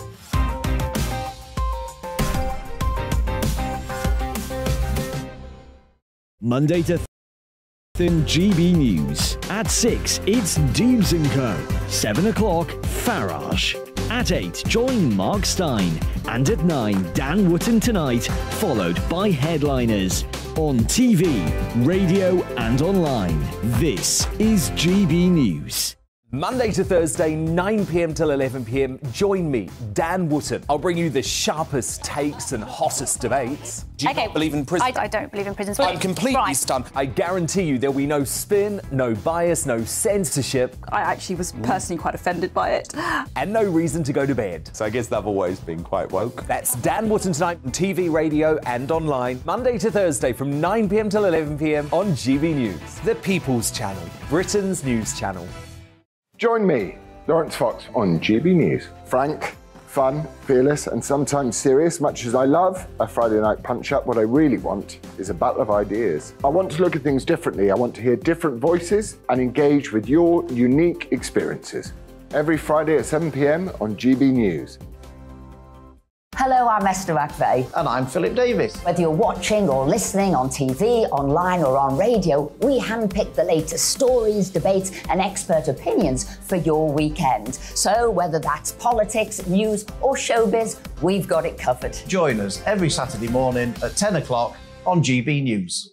Join me every Sunday at 6 pm for Gloria Meets. In exclusive interviews, I'll be finding out who our politicians really are and what they really think. It's something that you would never want anyone to suffer. I didn't know what channels there were. B, I didn't think I'd be believed. I must have weighed about seven stone and I'm five foot eight. My instincts was to sort of cover this up. I mean, clearly that was a mistake. Join me every Sunday at 6 pm on GB News, the People's Channel, Britain's news channel. Hello there, it's Eamonn Holmes here from Breakfast on GB News. We're not just on your television and your screens, you know. We're on DAB Plus. On 20 minutes here because we've got loads to fit in. During the show today, we've brought you live pictures of the protest scenes in Paris. Protest riots, really, wasn't it? Where the discontent was rising following a shooting there earlier today. A mass shooting. Three people died, at least four injured, two critically. 69-year-old man arrested. He's believed to have a previous conviction for a racially aggravated attack. It's been reported that the Kurdish demonstrators who were clashing with police were doing so to demand justice after that deadly shooting. Three people died. They said the police had not done enough to protect them. And those clashes, which you're seeing pictures of, or just saw pictures of anyway, got particularly violent. I'm joined now by Charles-Henri Gallois, who is political commentator and leader of France's Generation Frexit group. Thank you very much, Charles. Um, look, the protesters there initially saying that not enough was being done to protect them from a racist attack. Your views? Hi, Patrick. Let's first, we, we don't know really uh, what's the motivation of, of the guy uh, who did it. We know that he has like some racist attack uh, background but we don't know if uh, he's a, let's say, all French citizen or is he linked to the Turkish, as you know, that there are all the, the protests between the Turkish and the Kurdish. So we don't have uh, the background uh, behind that to, to, to, to, say something. What we can say, it's uh, always the same. Uh, it's uh, the judicial laxity because this yeah. guy has uh, two previous killing attempts and still he was freed. Actually, he has been freed uh, by uh, December 12th. So this is the main issue uh, mm. about uh, about I think this, this drama. Yeah, about security. And what's important to mention as well is a lot of people are saying online that this is a far right terror attack. This is yet to be confirmed. And one thing that we had earlier on, our security editor Mark White was saying that there was concern amongst the Kurdish community that this was a dispute between Turkish people and Kurdish people. We'll have to wait and see exactly how this pans out, but important not to jump to conclusions there. But one thing, what do you make of the reaction from the local Kurdish population there? We witnessed some pretty terrifying scenes, riots with the French police. I mean, it's quite disturbing because uh, the, the, French police has uh, acted quite quickly. Actually, they were they were there just after the shooting. They have uh, immobilized the, the, the killer. Everything was quite quick and well managed. Then I don't know what could happen during the, the process to have that kind of uh, riots because I, I, mean the the enemy is uh, the guy who did it. As you said, we don't know if it's mm. far far right activist, if he's linked to to the Turkish at that point. Uh, we don't know, but let's say it's not the, the French police uh, that uh, committed this murder. So it's, it's quite disturbing to see that kind of riot. And let me say something: if it's linked uh, to uh, Turkish, it, it, uh, hmm. it is also the issue of uh, uh, mass migration because when you have mass migration, you, you tend to bring all the conflicts, international yeah. conflicts at home because you will have the conflict between, between uh, uh, Israel and Palestine, you will have the conflict between uh, Kurdish and Turkish, you will have all the conflict on the world in your home. So that may be a problem as well, even as, as, as we say, we don't know so far, the, the let's say, the, the, the profile of, of, of the guy. Charles, what are race relations like in Paris and in France at the moment? No, I mean normally, normally it's okay. The main issue uh, that we have it's uh, it's an issue of number. It's uh, it's mass migration because uh, quite the same in the UK. You have uh, like uh, three hundred thousand people that come every year, and that is the issue because you can assimilate, you can integrate a few people, but you cannot integrate whole countries. You integrate individuals. And what happens if when you have this kind of numbers, you don't have the assimilation and you have some issue and you, you have let's say uh, every every day you have some problem uh, whether it with uh, asylum uh, secure people and uh, in terms of uh, sec- security in terms of assimilation it's a complete disaster it cannot work actually i mean we we should reduce uh, the immigration flows. Uh, the issue that we have is uh, unlike the UK, we are in the EU, and you know, in the EU, the legal migration, mm. let's say, is handled by the EU, and illegal immigration once you are in the Schengen area, you cannot fight against it. So you you, you will have this issue, but let's say on a global picture, main people are integrated, but you have some numbers uh, that cannot work. And if you have that kind of numbers, mm. it cannot work. So we, we have big right, work on, on that to, to do. Charles, thank you very much. Charles Henri Gallois there, the political commentator and leader of France's Generation Frexit group, reacting to the latest from Paris. A standoff continues between uh, the Kurdish population, or an element of the Kurdish population, anyway, in the 10th arrondissement of Paris, and uh, riot police after three people were shot dead, four injured, two Thank critically you. still injured, and a 69-year-old man is in police custody. That is believed to have then prompted riots in Paris, which we brought to you live here. But I'm going to move on now because the Prime Minister has said this is a massive story, by the way, absolutely massive. The Prime Minister has said that it would be responsible, reasonable, sorry, reasonable for the UK government to consider blocking new gender reforms in Scotland. So, this was an intense week of debate over the Gender Recognition Reform Bill in Holyrood, which has now been passed. It's intended to make it easier for trans Scots to obtain a gender recognition certificate. Westminster might be able to block it, though. Nicola Sturgeon no doubt would kick right off, although the problem with that is, is this the hill that she wants to die on? The bill, yes, does make it easier just on paper for trans men to say that they are now women. They can get their birth certificate changed. But serious concerns over the fact that it lowers the age that people are able to do this from down to 16, 15 and a half years old in some cases, without a doctor's note, having just lived in that as your gender, as your gender. What does that even mean? Changing your pronouns on Twitter? For a matter of months. And it also means, and this for me was the utterly, utterly sickening bit, the SNP, the Labour Party, the Greens, and the Lib Dems had a choice up there whether or not to include, or to exclude, sorry, people who were wanted for rape or sexual or violent crimes against women from being able to change their gender and therefore enter women's spaces. And they decided to not exclude them from that. Why? Absolute madness. Here for me to talk about this now is the leader of the Alba Party in Westminster, Neale Hanvey MP, and Conservative councillor for Falkirk North, it's James Bundy. Look, the absolute utter lunacy of this policy, as far as I'm concerned, knows no bounds. But I just want to talk to you a little bit about whether or not Westminster decides to overrule this and what that would really mean. I'm going to start with Neale. I'll start with you, who is the leader of the Alba Party in Westminster, Neale Hanvey MP. Your views if Westminster decides to overrule what's gone on in Holyrood?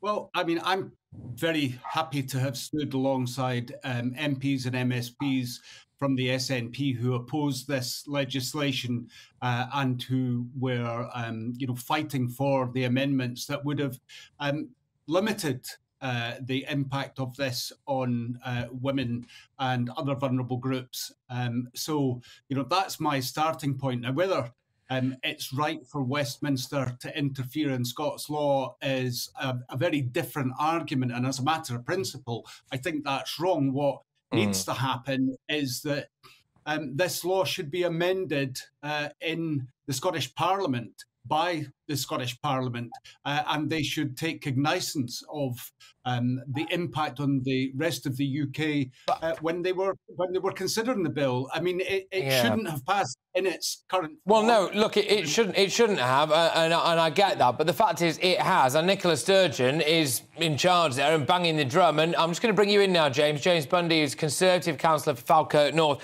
Is this a hill that Nicola Sturgeon really wants to die on? Is she going to try to use potentially Westminster blocking this as a way of drumming up support, even more support for Scottish independence? Because I suspect, James, if she picks this topic, the public won't be with her. I don't think the vast majority of the public support this.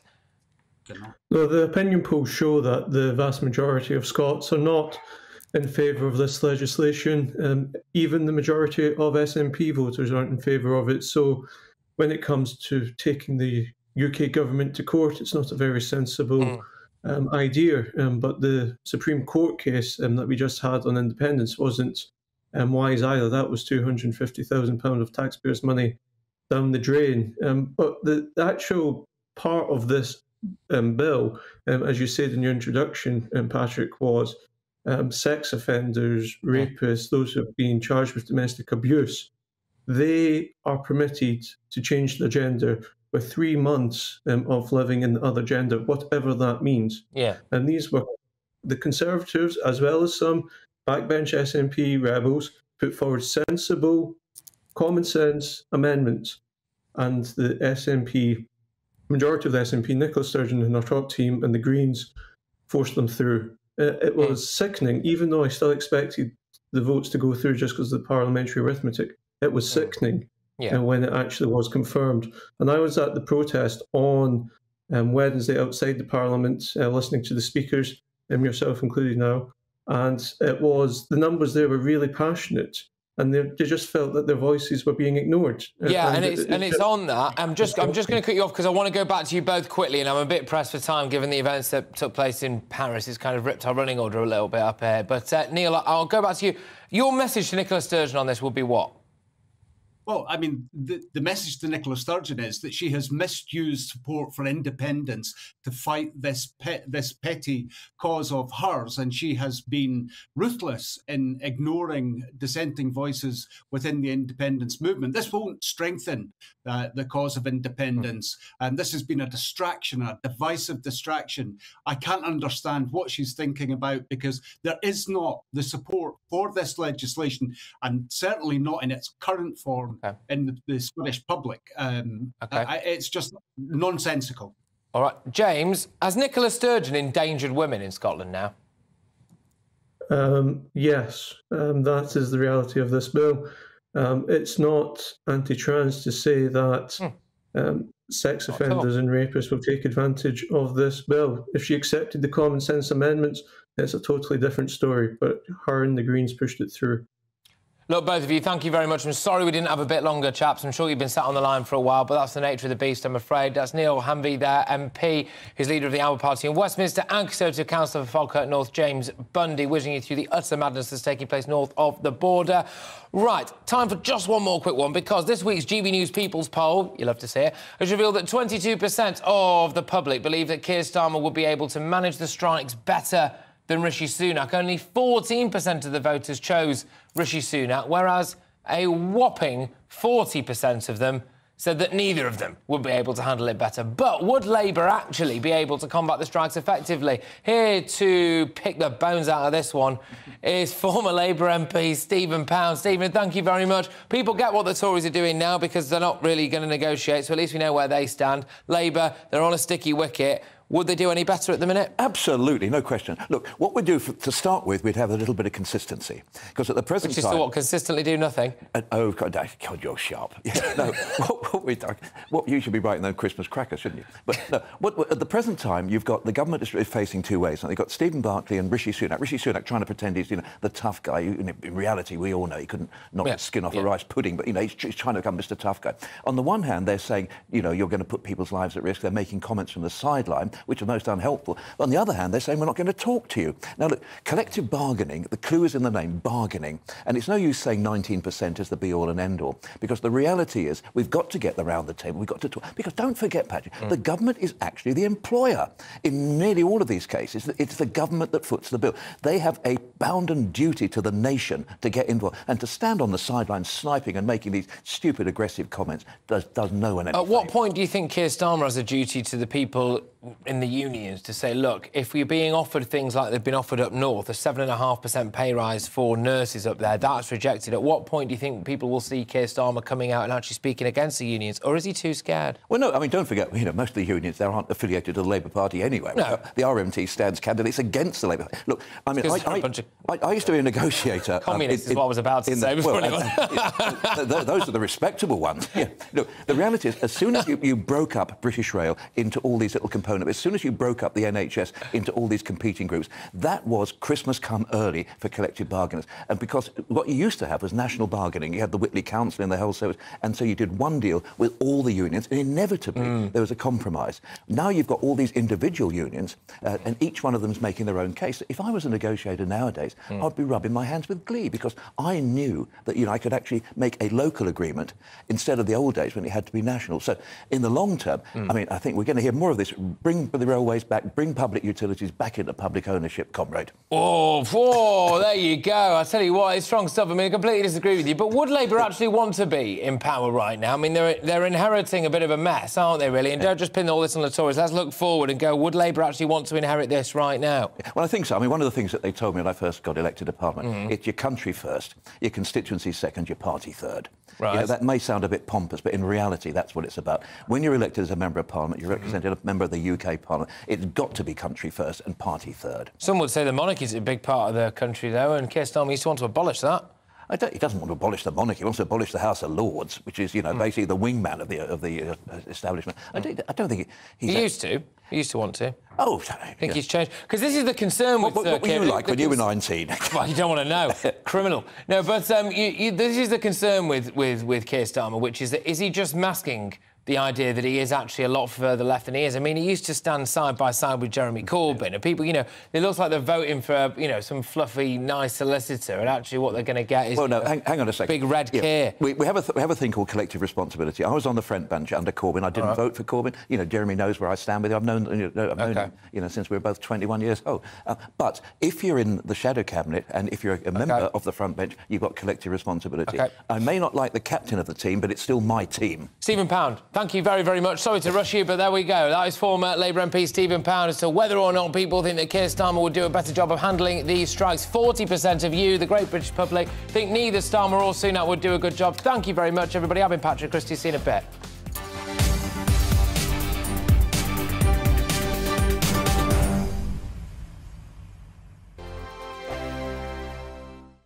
Monday to Thursday, 9 pm till 11 pm. Join me, Dan Wootton. I'll bring you the sharpest takes and hottest debates. Do you Okay, not believe in prison- I- I don't believe in prison I'm completely Right. stunned. I guarantee you there'll be no spin, no bias, no censorship, I actually was personally quite offended by it. and no reason to go to bed. So I guess they've always been quite woke. That's Dan Wootton tonight on TV, radio, and online. Monday to Thursday from 9 pm till 11 pm on GB News, the People's Channel, Britain's news channel.